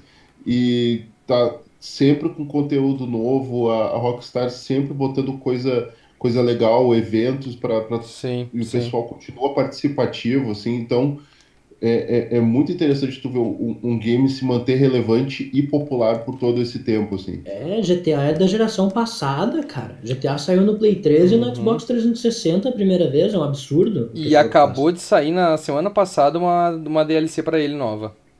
De corridas que transformam o carro e tal, é bem legal. né, Exatamente. velho? É bem, legal completamente diferente, né? Agora pra dar mais uma animada aí no, no, no online dele. Mas o, o meu voto, o meu voto é comprado, né, pessoal? Eu jogo 7 horas de Overwatch por dia, eu não conseguiria votar em outra coisa. e a comunidade do Overwatch, por mais que muitas vezes tóxica, no geral é maravilhosa. Show de bola. Leandro, Eu vou votar aqui só por questão de distribuição, eu vou votar no GTA. Eu vou votar em GTA eu acho- também. porque, é. por- porque eu acho que o voto aqui, qualquer um, é, É, qualquer um deles tá valendo, né? É, é. é seria um exercício de, de adivinhação, assim, porque todos, todos têm motivos pra ganhar e pra não ganhar. Tipo, eu acho que só o Warframe, assim, que corre por fora. Mas é uma boa, é, uma boa, é uma boa lembrança, né? Com certeza. Acaba sendo uma boa lembrança. Eu gostei É do. medição. Eu gosto muito do, do online do, Over, do Overwatch, do Grand Theft Auto. Eu acho que é o único, um dos poucos jogos que eu ainda jogava online quando eu tinha Plus. Agora não tem mais Plus, eu não jogo mais GTA Online. Mas ah, é, é, é excelente. assim, mesmo quando tu, tu pega uns caras idiotas que ficam te caçando lá e ficam enchendo teu, tua paciência, daqui a pouco tu só sai fora e vai jogar tuas corridas lá e é, é tão eficiente quanto um jogo de mundo aberto quanto como, como jogo de corrida. É uma coisa muito surpreendente, assim. E essas últimas aí que eles adicionaram foram excepcionais. Então meu voto vai pra GTA. Show! Próximo! GTA, Eu, eu fui de Overwatch. Eu fui de Overwatch. Overwatch, 2 GTA e um Overwatch. Foi, bora. Bora então pro próximo. Games for Impact. Jogos com impacto social. Essa. Que? Deixa eu dar uma lida melhor nesse aqui. Ah. brr. O que, que eles querem dizer com isso? É um jogo com uma mensagem social, será? É aquele jogo que vai te fazer sentar na, e chorar no chão do banho, tá ligado? Sim, aham. É esse jogo aí. O ano passado foi aquele jogo sobre câncer. Ah, sim, uh, my, uh, the, the, the Dragon Cancer, alguma coisa assim, né? É, Que é sobre são- o que os caras jogos fizeram pra sobre- tu levar pra vida, mano. Mais ou menos assim. Jogos pra tu levar a mensagem adiante. Esse jogo aí foi muito louco, esse. é, esse que ganhou ano passado. Mas enfim, vamos lá. Nós temos Please Knock on My Door, Night in the Woods, que já concorreu ali, a melhor uh, jogo uh, independente. Estudante. Não, independente. Life is Strange Before the Storm, Bury Me, Bur- Bury Me My Love, What Remains of Edith Finch, Finch e Hellblades Senua's Sacrifice. Uh, eu tava vendo bastante coisa sobre o Senua's, eu não consegui jogar ele ainda, mas ele fala bastante sobre depressão, né? É um dos jogos que aborda de frente assim o problema da depressão de uma forma muito gráfica, né? É, eu, essa, essa é a única categoria, a única categoria em que eu não joguei nenhum dos jogos, Uhum. tá? Mas aí eu vou pelo que eu passei com o primeiro e eu vou, vou direto pro Life is Strange, mesmo sem ter jogado ele ainda. Uhum. Life is Strange, o primeiro é espetacular e eu não espero nada menos do que isso pro segundo. Uhum. Leandro? Eu joguei um pouquinho do What Remains of Edith Finch, não fui até o final, eu deveria fazer isso para saber melhor da história. E o, o Hellblade, o Hellblade eu acho ele mais perturbador do que exatamente passar uma mensagem positiva, sabe? Então, Ele é um retrato, ele- eu não descrevi só uma mensagem, eu disse que ele é um retrato. é, pois é, mas eh, ele tem, ele obviamente tem seus, suas menções a, ah, sabe como é que é? Sequelas mentais, esquizofrenia, um pouco de esquizofrenia, ah, t- mas é, o, o jogo é mais experiência sobre a história do que exatamente os, digamos, as sequelas mentais do personagem. Agora o Edith Finch, eu acho que ele tem uma, ele, ele é mais uma, ele, ele tem uma melancolia, ele tem uma meditação sobre ah, velhice, sobre família, coisa e tal, que eu acho que pode pode pegar assim o, o pessoal. Os outros eu não joguei, Life is Strange eu só vi alguns vídeos. Os outros três eu não sei, eu não sei dizer porque eu não joguei. Daí eu vou dar um chute aqui pelo que eu vi assim de termos de, de uma história até onde eu vi e assim de, da, da, da, sensação que eu tive assim, eu gostei muito do até onde eu joguei o What Remains of Edith Finch. Eu até tenho que retomar ele. Sim, aham. Ahn, desses aí, os próprios. Life Strange, eu vou ser bem sincero, assim, ó. Eu sei que todo mundo gosta. Eu achei extremamente maçante o primeiro jogo e eu achei ele muito previsível. Então eu não gosto de Life Strange. Ah, é uma falha do meu caráter, não posso fazer nada. e eu, eu não tô nem um pouco empolgado pra jogar esse aí, então eu não faço muita questão. Eu acho que por tudo isso que o Hellblade fez e por toda a proposta dele em geral, assim, por se aventurar a fazer uma, um, um, um, um jogo sobre um assunto tão delicado que é a depressão, eu acho que ele ele merece esse prêmio aí por, pela qualidade técnica, né? Mas, mas o Edith Finch também fala de depressão, fala de suicídio também. Ele Aham. é, é pesadão. Uhum. Hum. Mas aí, pelo menos o Hellblade nesse caso tem luta, né? Não é só caminhar e É jogar. Eu sei que o jogo é com impacto social, né? Mas aí a gente valoriza também os outros pontos especiais dele. Ah, bom, essa, é- essa é uma votação bem dividida, né? Acho que cada um tem seu favorito aí. Ah, então a gente tem um voto para Edith Finch, um voto para Life Strange Life Strange. e um voto então para Hellblade. Vamos ver quem é que vai levar essa daí. Essa daí vai ser, vai ser uma briga curiosa de se ver. Melhor atuação, nós temos Melina Huergens, Jurgens, Jurgens, não sei. Hellblade interpretando Senua, Laura Bailey de Uncharted The Lost Legacy interpretando Nadine Ross, Claudia Black de Uncharted uh, uh, interpretando Chloe Fraser, Brian Bloom de Wolfenstein 2 interpretando o BJ Blazkowicz e a Ashley Birch de Horizon Zero Dawn interpretando a Aloy. Interessante essa Eloy. categoria aí, né? Eloy, Eloy, Eloy. E aí? Eu iria com a Melina. Uh, eu gosto muito da Nadine no Uncharted 4, mas eu ainda não tive a oportunidade de jogar o Lost Legacy. Então eu iria com a, a Melina que fez a Senua no Hellblade. Show de bola, Leandro. Eu gosto muito do, do BJ Blazkowicz. Ele é muito bom mesmo. tanto- é, eu acho o cara sensacional, embora eu ainda não joguei o Wolfenstein 2, então não posso dizer, mas nos outros eu já achei do caralho. Eu não gostei tanto da, da Aloy, assim, a ponto de lembrar dela numa premiação. Então nisso aí eu, eu, eu vou completamente no meu senso de crush, que é a Chloe, aquele sotaque dela maravilhoso. Eu, eu amo a Chloe, então é. Claudia Black. Massa, massa. Ahn, desses poucos aí também que. É que assim, eu, eu não sei se Uncharted consegue levar. Eu não lembro se ano passado eles levaram, inclusive. Eu acho que anos Ano levou. pass... Levou? Nolan North levou ano passado. Tem Eu acho certeza? Levou. Eu não lembro disso agora, não, agora não vou lembrar, não vou lembrar disso. Ah, mas enfim, dentre eles eu acho que eu votaria então no. Poxa, difícil, cara. É que eu tô em dúvida entre a Melina e o Brian Bloom também. Eu gosto, eu, eu acho, eu acho, eu achei muito boa. A, a parte da história do, do Wolfenstein é uma coisa que eu pensei que eu não ia prestar muita atenção e eu acho que uma das coisas mais divertidas desse novo Wolfenstein é essa mudança que eles fizeram e até o, o enriquecimento dos personagens. Então, eu vou votar no BJ Só Blazkowicz, pra- então. Só pra dar uma informação, Nolan North realmente ganhou ano passado. Ganhou ano passado também? Hum, então tá. É, bom, é a Nolan North também, né? A gente não pode. É, é. Não dá pra, não dá pra usar isso como, de, como base pra qualquer coisa, né? Mas enfim, eu vou votar então no BJ Blazkowicz aí, vou engrossar o couro pra ver se de repente ele leva. Isso! Dois votos pro BJ e um voto pra. pra Senua? Isso? Isso. Show de bola, então vamos pro próximo. Agora a gente tá chegando nas cabeças lá. Estamos chegando nas cabeças, ainda falta um pouco. Falta pouquíssimas categorias agora. Melhor design de áudio. Agora que tu tava falando ali do Resident Evil 7, Biohazard, Coffin, Destiny 2, Hellblade de novo. Tá... Ah, o Hellblade tá concorrendo em várias categorias aí. Legend of Zelda, Breath of the Wild e Super Mario Odyssey. Alguém quer começar? Ah, eu, eu vou. Mano, assim, ó. Eu gostei demais do som do Resident Evil 7. Eu acho que metade da atmosfera do jogo é o som dele. É- ele é muito competente nesse sentido. E não só no barulho dos monstros, mas tipo, no som do ambiente. Mas, mesmo não sendo o meu jogo favorito a jogo do ano, eu acho que o sound design do Zelda é impecável.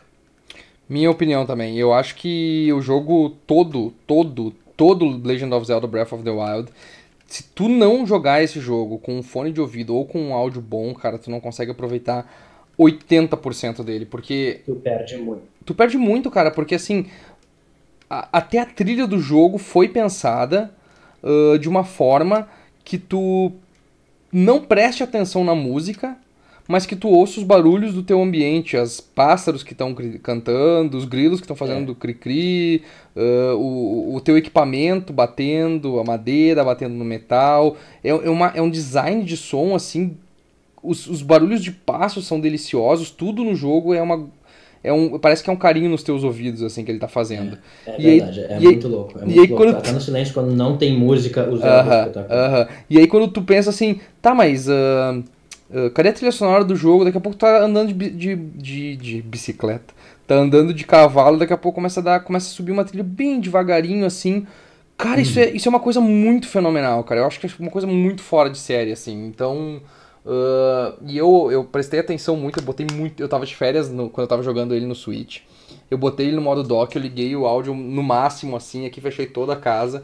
E eu fui jogar ele e, e- e eu vi assim, não, esse jogo é pra jogar assim mesmo. Pra mim foi. Eu nunca tinha pensado que alguém podia pensar É ah, design de áudio dessa forma. Então eu voto em Zelda. Leandro? Ah, embora eu concorde sobre o lance do Resident Evil, assim, ele é, é fácil tu a- avaliar o jogo do Resident como som, porque o som é parte muito integral num game de, de horror, ainda mais no caso do Resident que é em primeira pessoa. Mas nesse caso aí eu realmente vou dar o mérito pro Zelda, porque o pouco, né, o pouco que eu joguei comparado com outras pessoas foi pouco. Eu joguei umas 30 horas do Zelda, talvez um pouco menos. Mas realmente, botando os fones de ouvido parece de fato que tu tá imerso em um outro lugar, assim, entendeu? É outro mundo, né? Tu, tu, tu, tu ouvir os sons do teu, ao teu redor, sabe? Tu percorrer o som do, do, do vento, o som do, de tu correndo pela grama, alguma coisa que aconteceu ao longe. Então, de imersão, de realmente o som te colocar no, no, num outro universo é coisa que só o Zelda conseguiu fazer no meio desses, de todos esses jogos aí. O Resident Evil tem esse trabalho muito bem feito, mas eu acho que num contexto de um game de horror acaba sendo algo um pouco mais fácil de fazer do que o que o Zelda conseguiu, assim, de realmente criar uma, uma- um outro universo a partir do som, assim. É, eu acho que nesse sentido, assim. Ah, eu, depois eu vou, vou falar um pouco mais, mas é que pra mim isso foi muito impressionante, assim. Aquela coisa assim, ó, tu tá jogando, por exemplo, o. ah, Tu tá, com- tu tá por exemplo, assim, tu, tu tá com uma arma, aí tu tá com uma arma de madeira.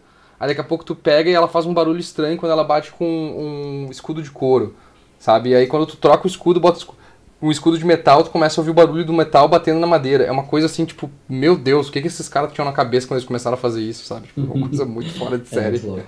É muito fora de série. Ah, certo, então. Ah, fechamos aí melhor design de áudio. Três votos, dois votos pra Zelda e um pra Resident Evil 7, isso? Coffin votou em. Resident Evil 7? Show de bola.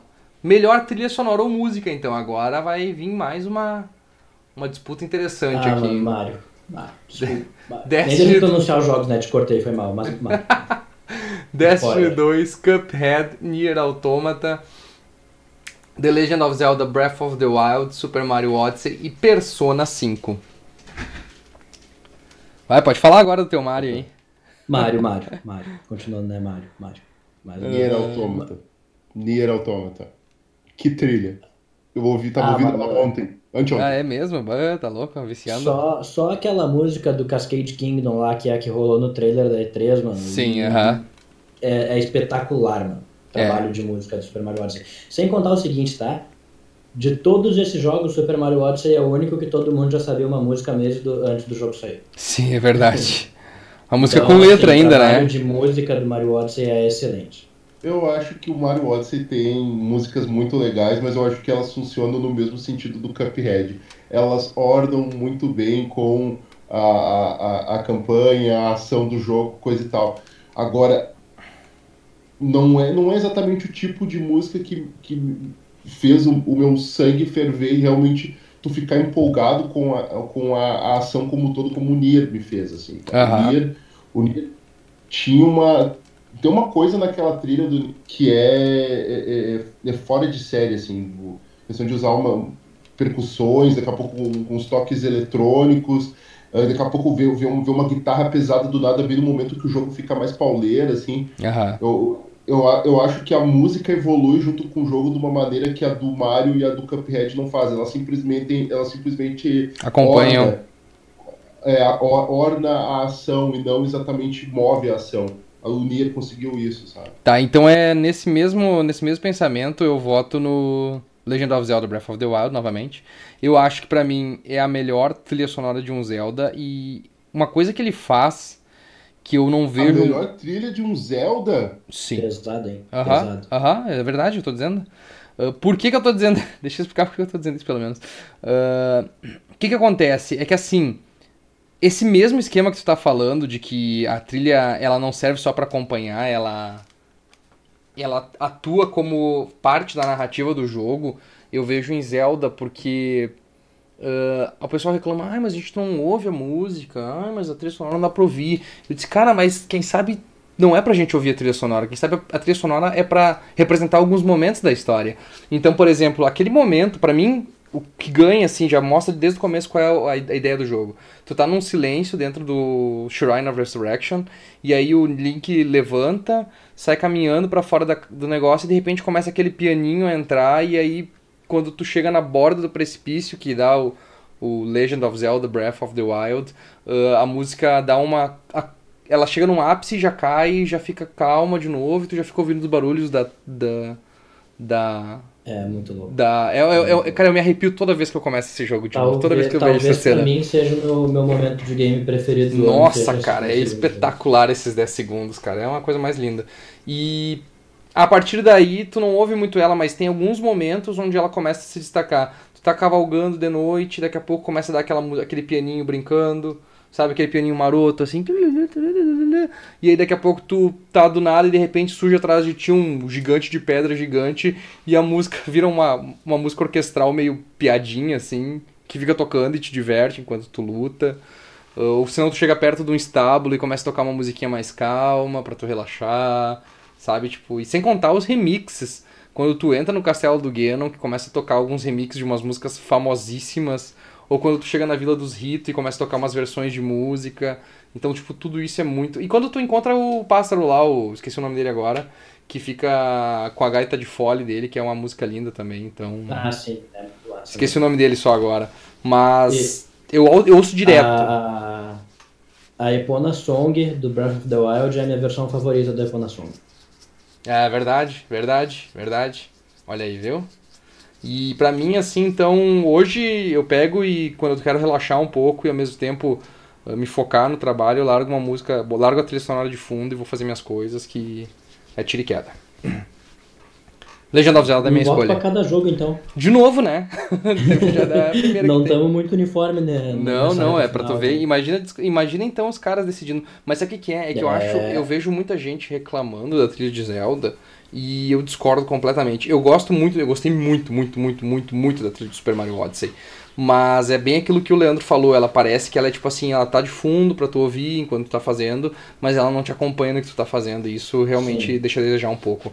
Parece que. que- mas, mas só pra deixar registrado, a trilha do Cuphead é foda pra caralho. É Aham, verdade. aham. Ah, a única hora do Mario Odyssey em que eu tenho que discordar disso são os canos em 2D, né? Que a música, inclusive, Sim, aham. remix dela mesmo em 8 bits. E fica uma Então, delícia, né? É, é verdade. Então, tipo, sei lá, qualquer jogo que ganhar entre esses que a gente conversou, eu acho que tá valendo. Agora aquela cena que tu tá Mario em. Odyssey- No Mario Odyssey, tem- é, falta aquela coisa assim, tipo, de a música te dizer, puta que pariu, agora a cobra vai fumar, sabe? Isso que eu acho legal que o Nier tem, sabe? Ele, a música te serve como o indício do. como um integrante do jogo, sabe? Assim, Sim, aham. Tipo, vai começando a música e tu pensa, porra, vou me fuder agora, hein? Mais ou menos isso, tipo... Ou quando tu, tu tá e de repente tu tá, no meu caso no Zelda, tu tá lá cavalgando de noite e daqui a pouco tu começa a ouvir uma- aquela música creepy tocando, assim, tu... Como assim? Tem algum, alguém me atacando e daqui a pouco vem uma flash e derruba do cavalo e tu... Ah, fuck! Sabe, é muito gostoso isso. Enfim, um voto pra cada um então. Foi Legend of Zelda, Nier e Super Mario Odyssey. Vamos pra agora direção de arte. Difícil essa. Destiny 2, Cuphead, The Legend of Zelda, Breath of the Wild, Persona 5 e Horizon Zero Dawn. Nós temos aqui um Ok. jogo que foi desenhado em 2D. É, mano, tipo. Eu, eu, eu acho que são os dois, pra mim, são os dois fortes concorrentes, Cuphead e Horizon. Eu acho que Cuphead leva de boa esse prêmio, porque em todas as outras categorias a gente diz, tá, o jogo realmente é muito lindo, mas ele ganha dos outros em tal coisa. É Essa é a verdade. categoria pro jogo ser muito lindo, tá ligado? E ganhar dos outros por Então- isso. Então, tipo, eu, eu realmente acho Cuphead uma obra de Não, não, ele. Exatamente. Isso, isso, isso aí é o grande ponto dele, né? Ele pode ter uma jogabilidade até, e a gente tava discutindo isso hoje com um grupo de amigos. ah, ele pode ter uma jogabilidade que é simples, né? Um jump and shoot, não tem grandes inovações. Mas o visual dele é uma coisa que ninguém nunca pensou em fazer antes, cara. E isso eu acho que é uma coisa muito. Muito louvável da parte deles. Não, Por, pra uma empresa pequena, né? É, e é tipo três pessoas, né? A parte Pois de é, cara. caras. É, é um absurdo, mano. É um absurdo. Esses caras devem Meu- ter morrido de tanto trabalhar. O meu voto é pro Cuphead tranquilo. Todos esses jogos são lindos, dos seus próprios jeitos. Zelda é muito bonito. Destiny 2, às vezes tu para pra olhar pro infinito assim e é espetacular. Persona, não vou nem falar, o troço é muito massa. E o Horizon, os inimigos, o teu personagem, as coisas de tribo e tal, tudo é muito legal. Mas Cuphead pra mim leva essa É. tranquilo. Pois é, que desses cinco aí eu acho que os únicos, é, é, tipo, os únicos que oferecem algo original em termos de uh, direção de arte, em termos de visual, de algo novo, eu, uh, né, al- algo que não foi visto antes é, o Cuphead e o, e o Horizon. Mas realmente, original, 100% original tem- é, é Cuphead. Mas eu gosto muito, eu gosto muito do que o Horizon propôs. Uh, mas eu vou, eu vou com a galera. Eu acho que Cuphead aí merece muito ganhar esse prêmio. É bom mesmo, Leandro. É bom mesmo que tu vai com a galera. Hã, tá achando o quê? Pelo menos em alguma categoria a gente tá concordando, né? Ah, pelo amor de Deus, né?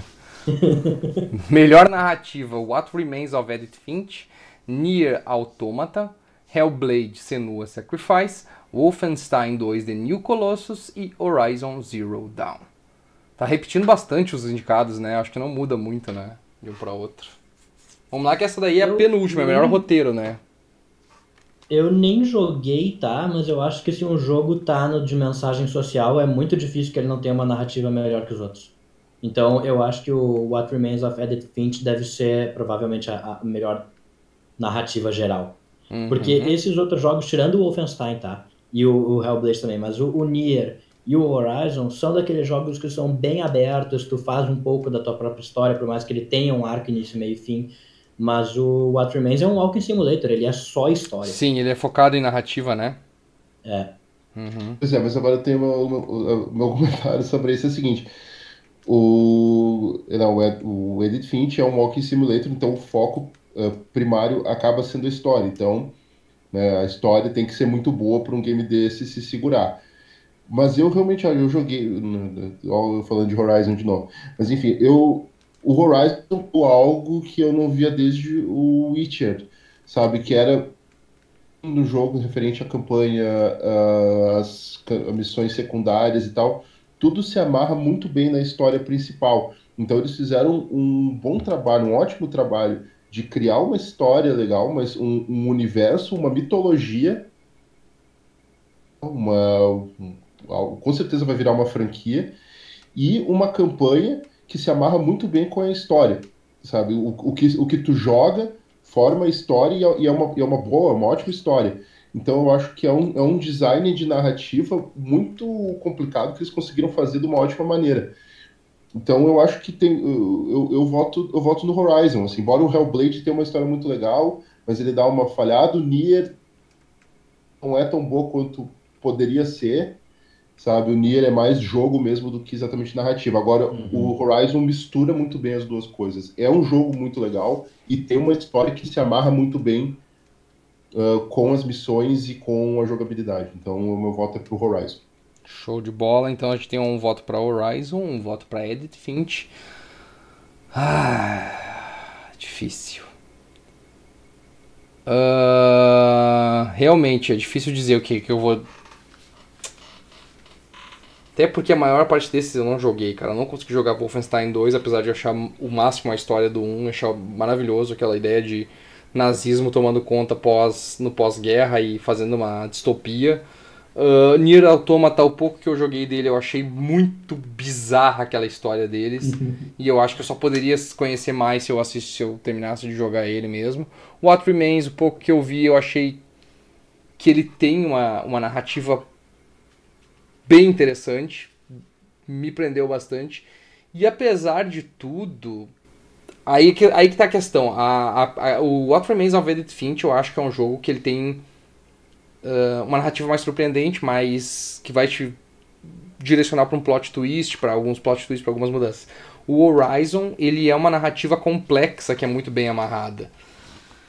Aí fica da questão de decidir qual que fica melhor. É o que tem mais impacto é, ou que é tem que, mais é qualidade, depende, né? É, é, que depende de como vai avaliar. Se tu quer avaliar uma narrativa, a, a, história pela história, daí eu acho que o Edith Finch e o Hellblade são os que têm mais chances. Agora, se tu for a, a história aplicada ao jogo, daí eu vou pro Horizon, sabe? Tem que, é, tem que... mas se eu for realmente pra história aplicada ao jogo, aí até eu vou pro Horizon. Então não, essa categoria sim, é uma que eu não sei se eu tenho um voto definitivo.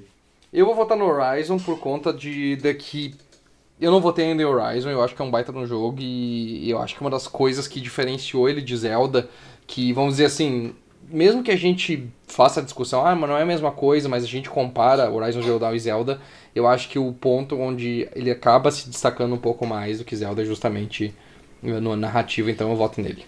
Ah, então eu vou com vocês. Vou mudar meu voto porque a categoria ali, a legendinha dela fala sobre storytelling, que é o jeito que eles resolvem contar a história. E com ah, certeza eu acho ah, uma campanha mais interessante do que um Walking Simulator. Então nós vamos três gerais. Feito então.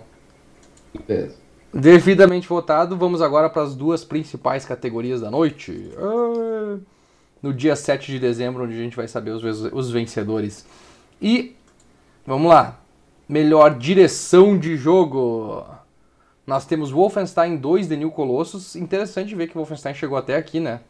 Resident é Evil 7 Biohazard, The Legend of Zelda Breath of the Wild, Super Mario Odyssey e Horizon Zero Dawn. E agora? Eu amei o Zelda, tá? Uh -huh. Não tenho como não ir com o Mario. Não tem, não, não uh -huh. consigo. Uh -huh primeiro Mario que não foi uh, tipo dirigido, até onde eu sei, posso estar enganado, mas eu acho que é o primeiro Mario principal que não foi dirigido diretamente pelo Miyamoto. Uhum. E ele não me decepciona de jeito nenhum, muito pelo contrário, tive várias surpresas boas e algumas coisas que eu gostaria que ficassem na franquia. E, mano, mais de um momento que me deixou cheio de lágrima no olho, mano. Tanto por nostalgia quanto por coisas novas de transformação, assim, eu acho que a direção do Mario foi impecável. Tu pegou aquele aqueles 500, aquelas 500 luas? Peguei. Daí tu foi para aquela para cima daquele prédio depois daquela Darker Side of the Moon? Sim. Ah, então tá, é porque ali ele deu um nó na garganta, né? Ele foi é, É espetacular, cara. É espetacular. A Ali direção foi do Mario foda Odyssey pra mesmo. mim não deveu em nada. Eu acho que o grande momento de Mario Odyssey, mesmo que não seja o momento final, mas pra mim foi quando ele. Ah, aquele momento que tu tá na, na, na New Donk City, tu completa da New Donk City, e aí eles abrem um festival, e aí Sim. tu tem todo aquele momento de nostalgia batendo assim com força. Esse, Então, esse momento eu chorei que nem uma criancinha jogando meu, meu Switch, mano. Sério mesmo. é muito espetacular mesmo. É uma coisa muito linda, é uma coisa muito. Muito marcante, Tu assim. Tu vê que é uma franquia tão gigante que depois de 30 anos ela não precisa fazer referência a nada fora ela mesma. tá ligado? Se isso, Exatamente. se isso não quer dizer nada, eu não sei o que quer. Exatamente. Então foi um grande momento mesmo. E mesmo gostando de Zelda por tudo que eu falei, por tudo que eu acho. Por ter aqueles 10 segundos maravilhosos no começo, que pra mim são os melhores 10 segundos desse ano, como tu disse. E eu diria, acho que um dos maiores, um dos maiores 10 segundos de todo. De todo, todo o tempo, eu acho que o Mario é mais redondinho nesse ponto de vista. Eu acho que a direção dele tá mais enxuta. Então eu voto no Mario também. Ok, eu vou discordar de vocês. Óbvio, é, né? Óbvio. Não, mas eu estava vendo aqui a descrição aqui, ó. É dado para o, o, o estúdio que para outstanding, né, o visão criativa, dando- traduzindo ali, falta a palavra, e inovação em direção de game design. Eu acho que o Zelda vai ganhar essa porra. Porque Sim. eu sim. acho que em termos de criatividade e inovação, assim, eu acho que o Zelda. ah, o, o Mario é charmoso, é um deleite de jogar do início ao fim, tu ri, tu chora, mas eu não sei, cara, o Zelda tem um. Tá falando desses 10 segundos, e só aqueles 10 segundos já é o suficiente pra tu ter um, um puta de um uau, assim, entendeu? É Então, verdade. tu O vê- fator uau do Zelda é muito grande. então eu acho que visão e inovação o Zelda teve mais que o Mario Odyssey. É, eu acho que nesse caso ele leva mesmo, mas meu coração é pé de Mario, então eu vou. É. Por Porque. espera, tem mais uma categoria. Exatamente, vamos pra próxima agora. vamos pra última categoria da noite, depois dessa. Então deu dois votos pro Mario Odyssey e um voto pro Zelda, é isso? Isso. E vamos agora para jogo do ano. The Legend of Zelda Breath of the Wild, Super Mario Odyssey, Player Unknown Battlegrounds. Agora o Leandro queria falar um negócio lá no começo do podcast, vai falar agora. Persona 5 e Horizon Zero Dawn. Leandro, o que que queria falar? é a porra de um early access? Tá Exatamente. aí? Exatamente, Eu não acho faz que devia ter sentido uma nenhum. categoria do melhor Early Access, tá? Assim, tipo, de real, não tô sendo irônico. Eu realmente Sim. acho que devia ter a categoria Ark- do melhor jogo de acesso A antecipado. Ark foi lançada esse ano, cara. Meu Deus do céu, tava quantos anos rodando o jogo? É. 55 anos no Daisy, desenvolvimento. quando é Daisy nunca, nunca saiu de Early Access. Meu Deus, cara, é um, um absurdo. Eu não, eu, Sabe eu não que- acho sabe o que justo eu o tá aí, mano. Sabe o que, que eu acho que foi isso? Isso foi um, um prêmio de consolação pra Microsoft, porque senão ela ia ficar tão putaça que provavelmente, sei lá, ia entrar um Nier aí. Ou, ou talvez ia entrar um Wolfenstein. Tá? Mas tu vê assim, dois exclusivos da Sony e dois exclusivos da Nintendo. E daí, pelo menos, eu acho que esse é um prêmio de consolação pra Microsoft que pode dizer que é exclusivo do Xbox, pelo menos por um tempo. Pois Eu é. acho que foi, uma, foi um lance de lobby da indústria e botar o PUBG aí. E Embora. pressão popular, né? Pressão popular também. É, isso é verdade. Eu Verdade. acho que de, em mobilização de redes sociais acaba sendo o grande mobilizador é o PUBG esse ano. E provavelmente, se a gente for pegar depois a votação ali da- dos, dos jogadores, é capaz da comunidade se juntar fortemente pra botar ele aí, tentar botar É. ele pra cima. Ah, Bom, e, vo- e os vencedores de vocês, né? Vamos lá? Super Mario Odyssey. Super Mario Odyssey. Então eu vou dizer que é Legend of Zelda Breath of the Wild.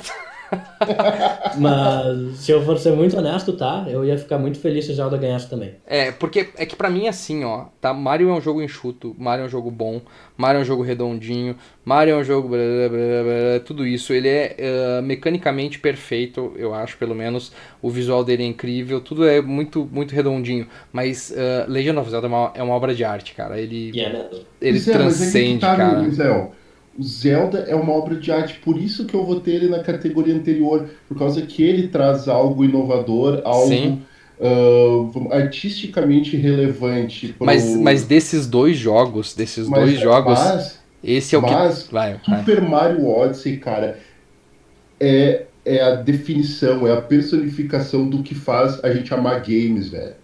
É. lá tu joga do início é com um sorriso no rosto. Uhum. Tu, tu ri, tu chora. Por exemplo, quando eu comecei a jogar o Mario Odyssey aqui, a minha irmã tava do meu lado olhando assim com brilho nos olhos. Ela deu gargalhada quando deu a primeira transformação, quando o Mario virou o sapo ali, tá A gente tava rindo junto, eu, cara. Eu, eu é um acho... tipo de coisa que tu não consegue em muitos games. Eu acho que o seguinte, tá? Ah, eu acho que o Zelda é, é, é uma masterpiece sem tamanho, tá? Poucos jogos são do tamanho que é Zelda, e Zelda, se eu não me engano, nesse momento é o jogo mais bem avaliado de todos os tempos. Mas, mesmo assim, o Zelda tem alguns momentos que fazem parte da experiência, não tirando mérito, mas que se sentem um pouco vazios, cara. E eu não senti isso em uma das, tipo, 80 horas que eu joguei de Mario Odyssey. Esse aqui que é, é que o Mario, o Mario Odyssey, para mim, ele é, ele é um, um programa japonês de auditório, que ele fica te jogando coisa na cara o tempo inteiro. Não é uma coisa ruim, tá? Mas ele fica jogando, tem tempo, tem inúmeras atividades para fazer, tá tudo muito povoado, muito cheio de coisa.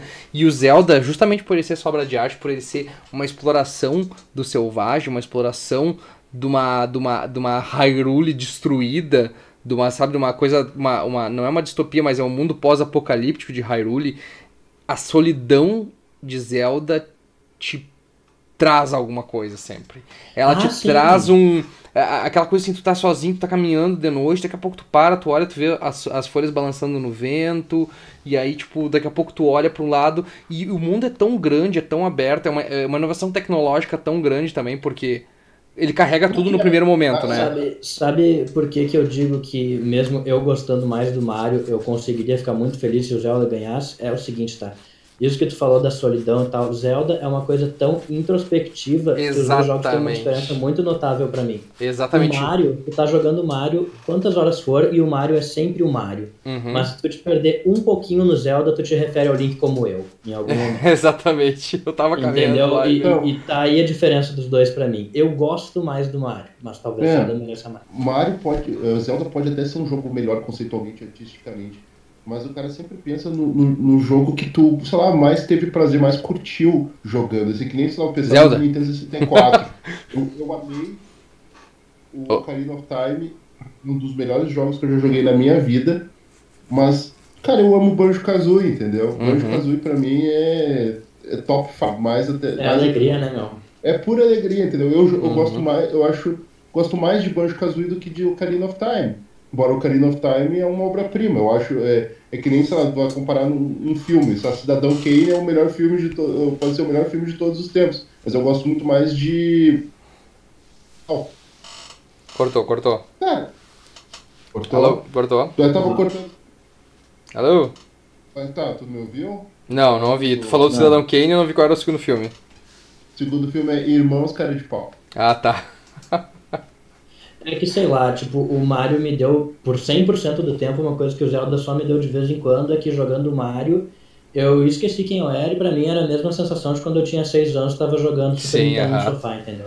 É, eu, eu, eu tive uma experiência muito boa com o Mario, mas o tempo inteiro eu pensava assim, mas ele não me arrebatou em nenhum momento, sabe? Tipo, poucos momentos que ele conseguiu, assim, que eu consegui, que ele me conquistou mas ele não me arrebatou no momento, assim. Por exemplo, ele não me fez ficar, tipo, parado olhando pro sol se pôr, assim, no horizonte, porque eu tava achando aquilo espetacular, ou a chuva caindo, ou a ventania, ou eu tentando ver qual iluminação ah, eu... ia ficar melhor, sabe? Tipo, eu sempre tava... Eu não sei. Eu não sei. Eu, bah, eu... Não, vou, não vou entrar em detalhes, mas a luta final do Mario Odyssey é uma das coisas mais maravilhosas que eu Isso, isso eu não nego. Isso foi espetacular. O final de Mario Odyssey, inclusive, eu acho que superou o final de Zelda, que eu achei muito simplista, assim, porque tava muito Verdade. fácil. Eu achei muito fácil virar o Zelda, assim, não foi tão... O Zelda, invés... o problema do Zelda para mim foi justamente esse. Ao invés de ele te recompensar com desafio por pegar tudo, ele te recompensa sendo mais fácil se tu jogou o jogo todo. É verdade. Ele, e se tu pega e vai reto no. Se tu não vai reto no Ganon ali, a, é, não é tão difícil de, de derrotar ele. Mas eu entendo que não é sobre o final, é sobre a, sobre a jornada. Sim, e os dois têm sim, finais épicos, né? Uh, dois finais, inclusive, assim, completamente cinematográficos, uma coisa que eu nunca tinha visto a Nintendo fazer de forma tão, tão visível assim, que é, é realmente mexer com o teu sentimento com os dois. É. Uma das coisas que também eu, uh, eu gosto do Zelda e que eu acho que ele faz diferente, e, eu, e foi que eu quando eu fiz a minha crítica do canal, eu falei a mesma coisa. Foi que ele, pela primeira vez em muito tempo, um jogo tenta fazer algo que não é uma narrativa uh, de outra mídia. É, a, é, é eles, ele usa a interatividade do jogador para contar a sua história. Então, por exemplo, assim, uh, cinema e livros, eles te entregam uma narrativa. O cinema e livro, ele te dá uma, uma direção e tu tem que tu é obrigado a seguir ela, porque tu não tem outra opção. Essa é a tua opção. Ou tu segue ou tu não vai ter narrativa.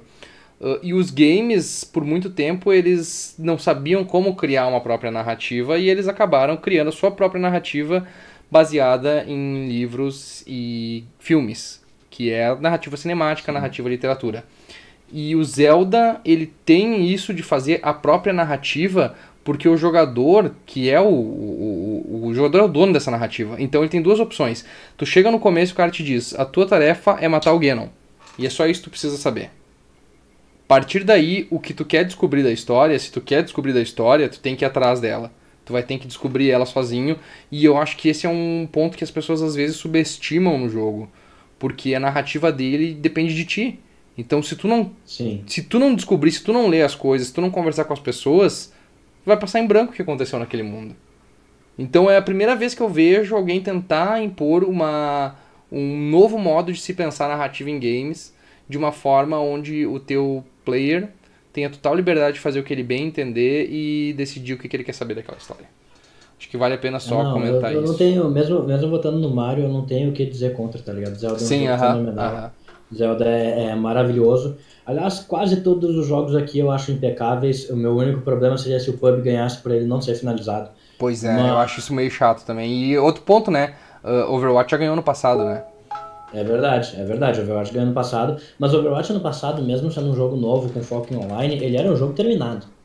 Entendeu? E ele era um jogo que, mesmo sendo da mesma fórmula que o Team Fortress, por exemplo, era um jogo que faz tudo completamente diferente, sabe? Sim. Quando saiu já eram tipo 20 classes totalmente Sim, balanceadas aham, em aham. 99% das situações, bem pensado, com uma comunidade muito diferente dos outros jogos online. Overwatch até maio desse ano tinha zero de, de player tóxico, sabe? Era muito bom de jogar. Então eu entendi completamente quando ganhou de Uncharted, que pra mim era um jogo espetacular, mas era de jogar uma vez. Vai jogar Exatamente. Uncharted 4 duas vezes, tu vai dormir na segunda, é Exatamente, chato. Mas a exatamente. primeira vez é, é- é espetacular. Agora, Overwatch, mano, eu joguei 400 horas, me diverti 398. E não fui Nossa. trollado. Mas acontece. É- é- Essa é a diferença pra mim do Overwatch pro, pro PUB, é que o PUB não tá pronto. Aham. Não é um jogo ruim, de maneira nenhuma, não é um jogo ruim, é um baita jogo, mas não tá pronto. Perfeito. O Leandro quis finalizar a participação dele aqui dizendo que Zelda é mais uma experiência e Mario é mais jogo. Ele teve um problema no microfone dele no finalzinho da nossa gravação. Ah, vota em Mario. O- tu vota em Mario também, né? Voto. Então tá, o Coffin vota em Mario e eu voto em Legend of Zelda Breath of the Wild como melhor jogo de 2017. A gente vai saber isso no dia 8 de dezembro. Aqui no SideQuest você vai acompanhar nossa transmissão ao vivo do The Game Awards. Tu vai fazer transmissão também, Coffin? Vou lá na twitch.tv barra. Show de bola. Então você tem aí dois pontos para você acompanhar. Você pode comentar com a gente, deixar seu comentário aqui sobre quem você acha que são seus vencedores. Deixa aqui nos comentários. Fica à vontade para discutir à vontade os, os nossas, nossas opiniões. Deixa sua opinião também sobre quem você acha que ganha em cada categoria. Se inscreve no canal, se inscreve no canal do Coffin também ali no Twitch. Você pode acompanhar as lives dele. Quando é que tu faz live aí? Conta aí pro pessoal. Todos os dias, da meia-noite às seis da manhã, eu Meu tô até atrasado Deus agora. do céu. Não, eu vou te deixar aí então lá. E a gente traz vídeos também toda semana, games e tudo mais. Até mais, pessoal, e até a próxima. Valeu.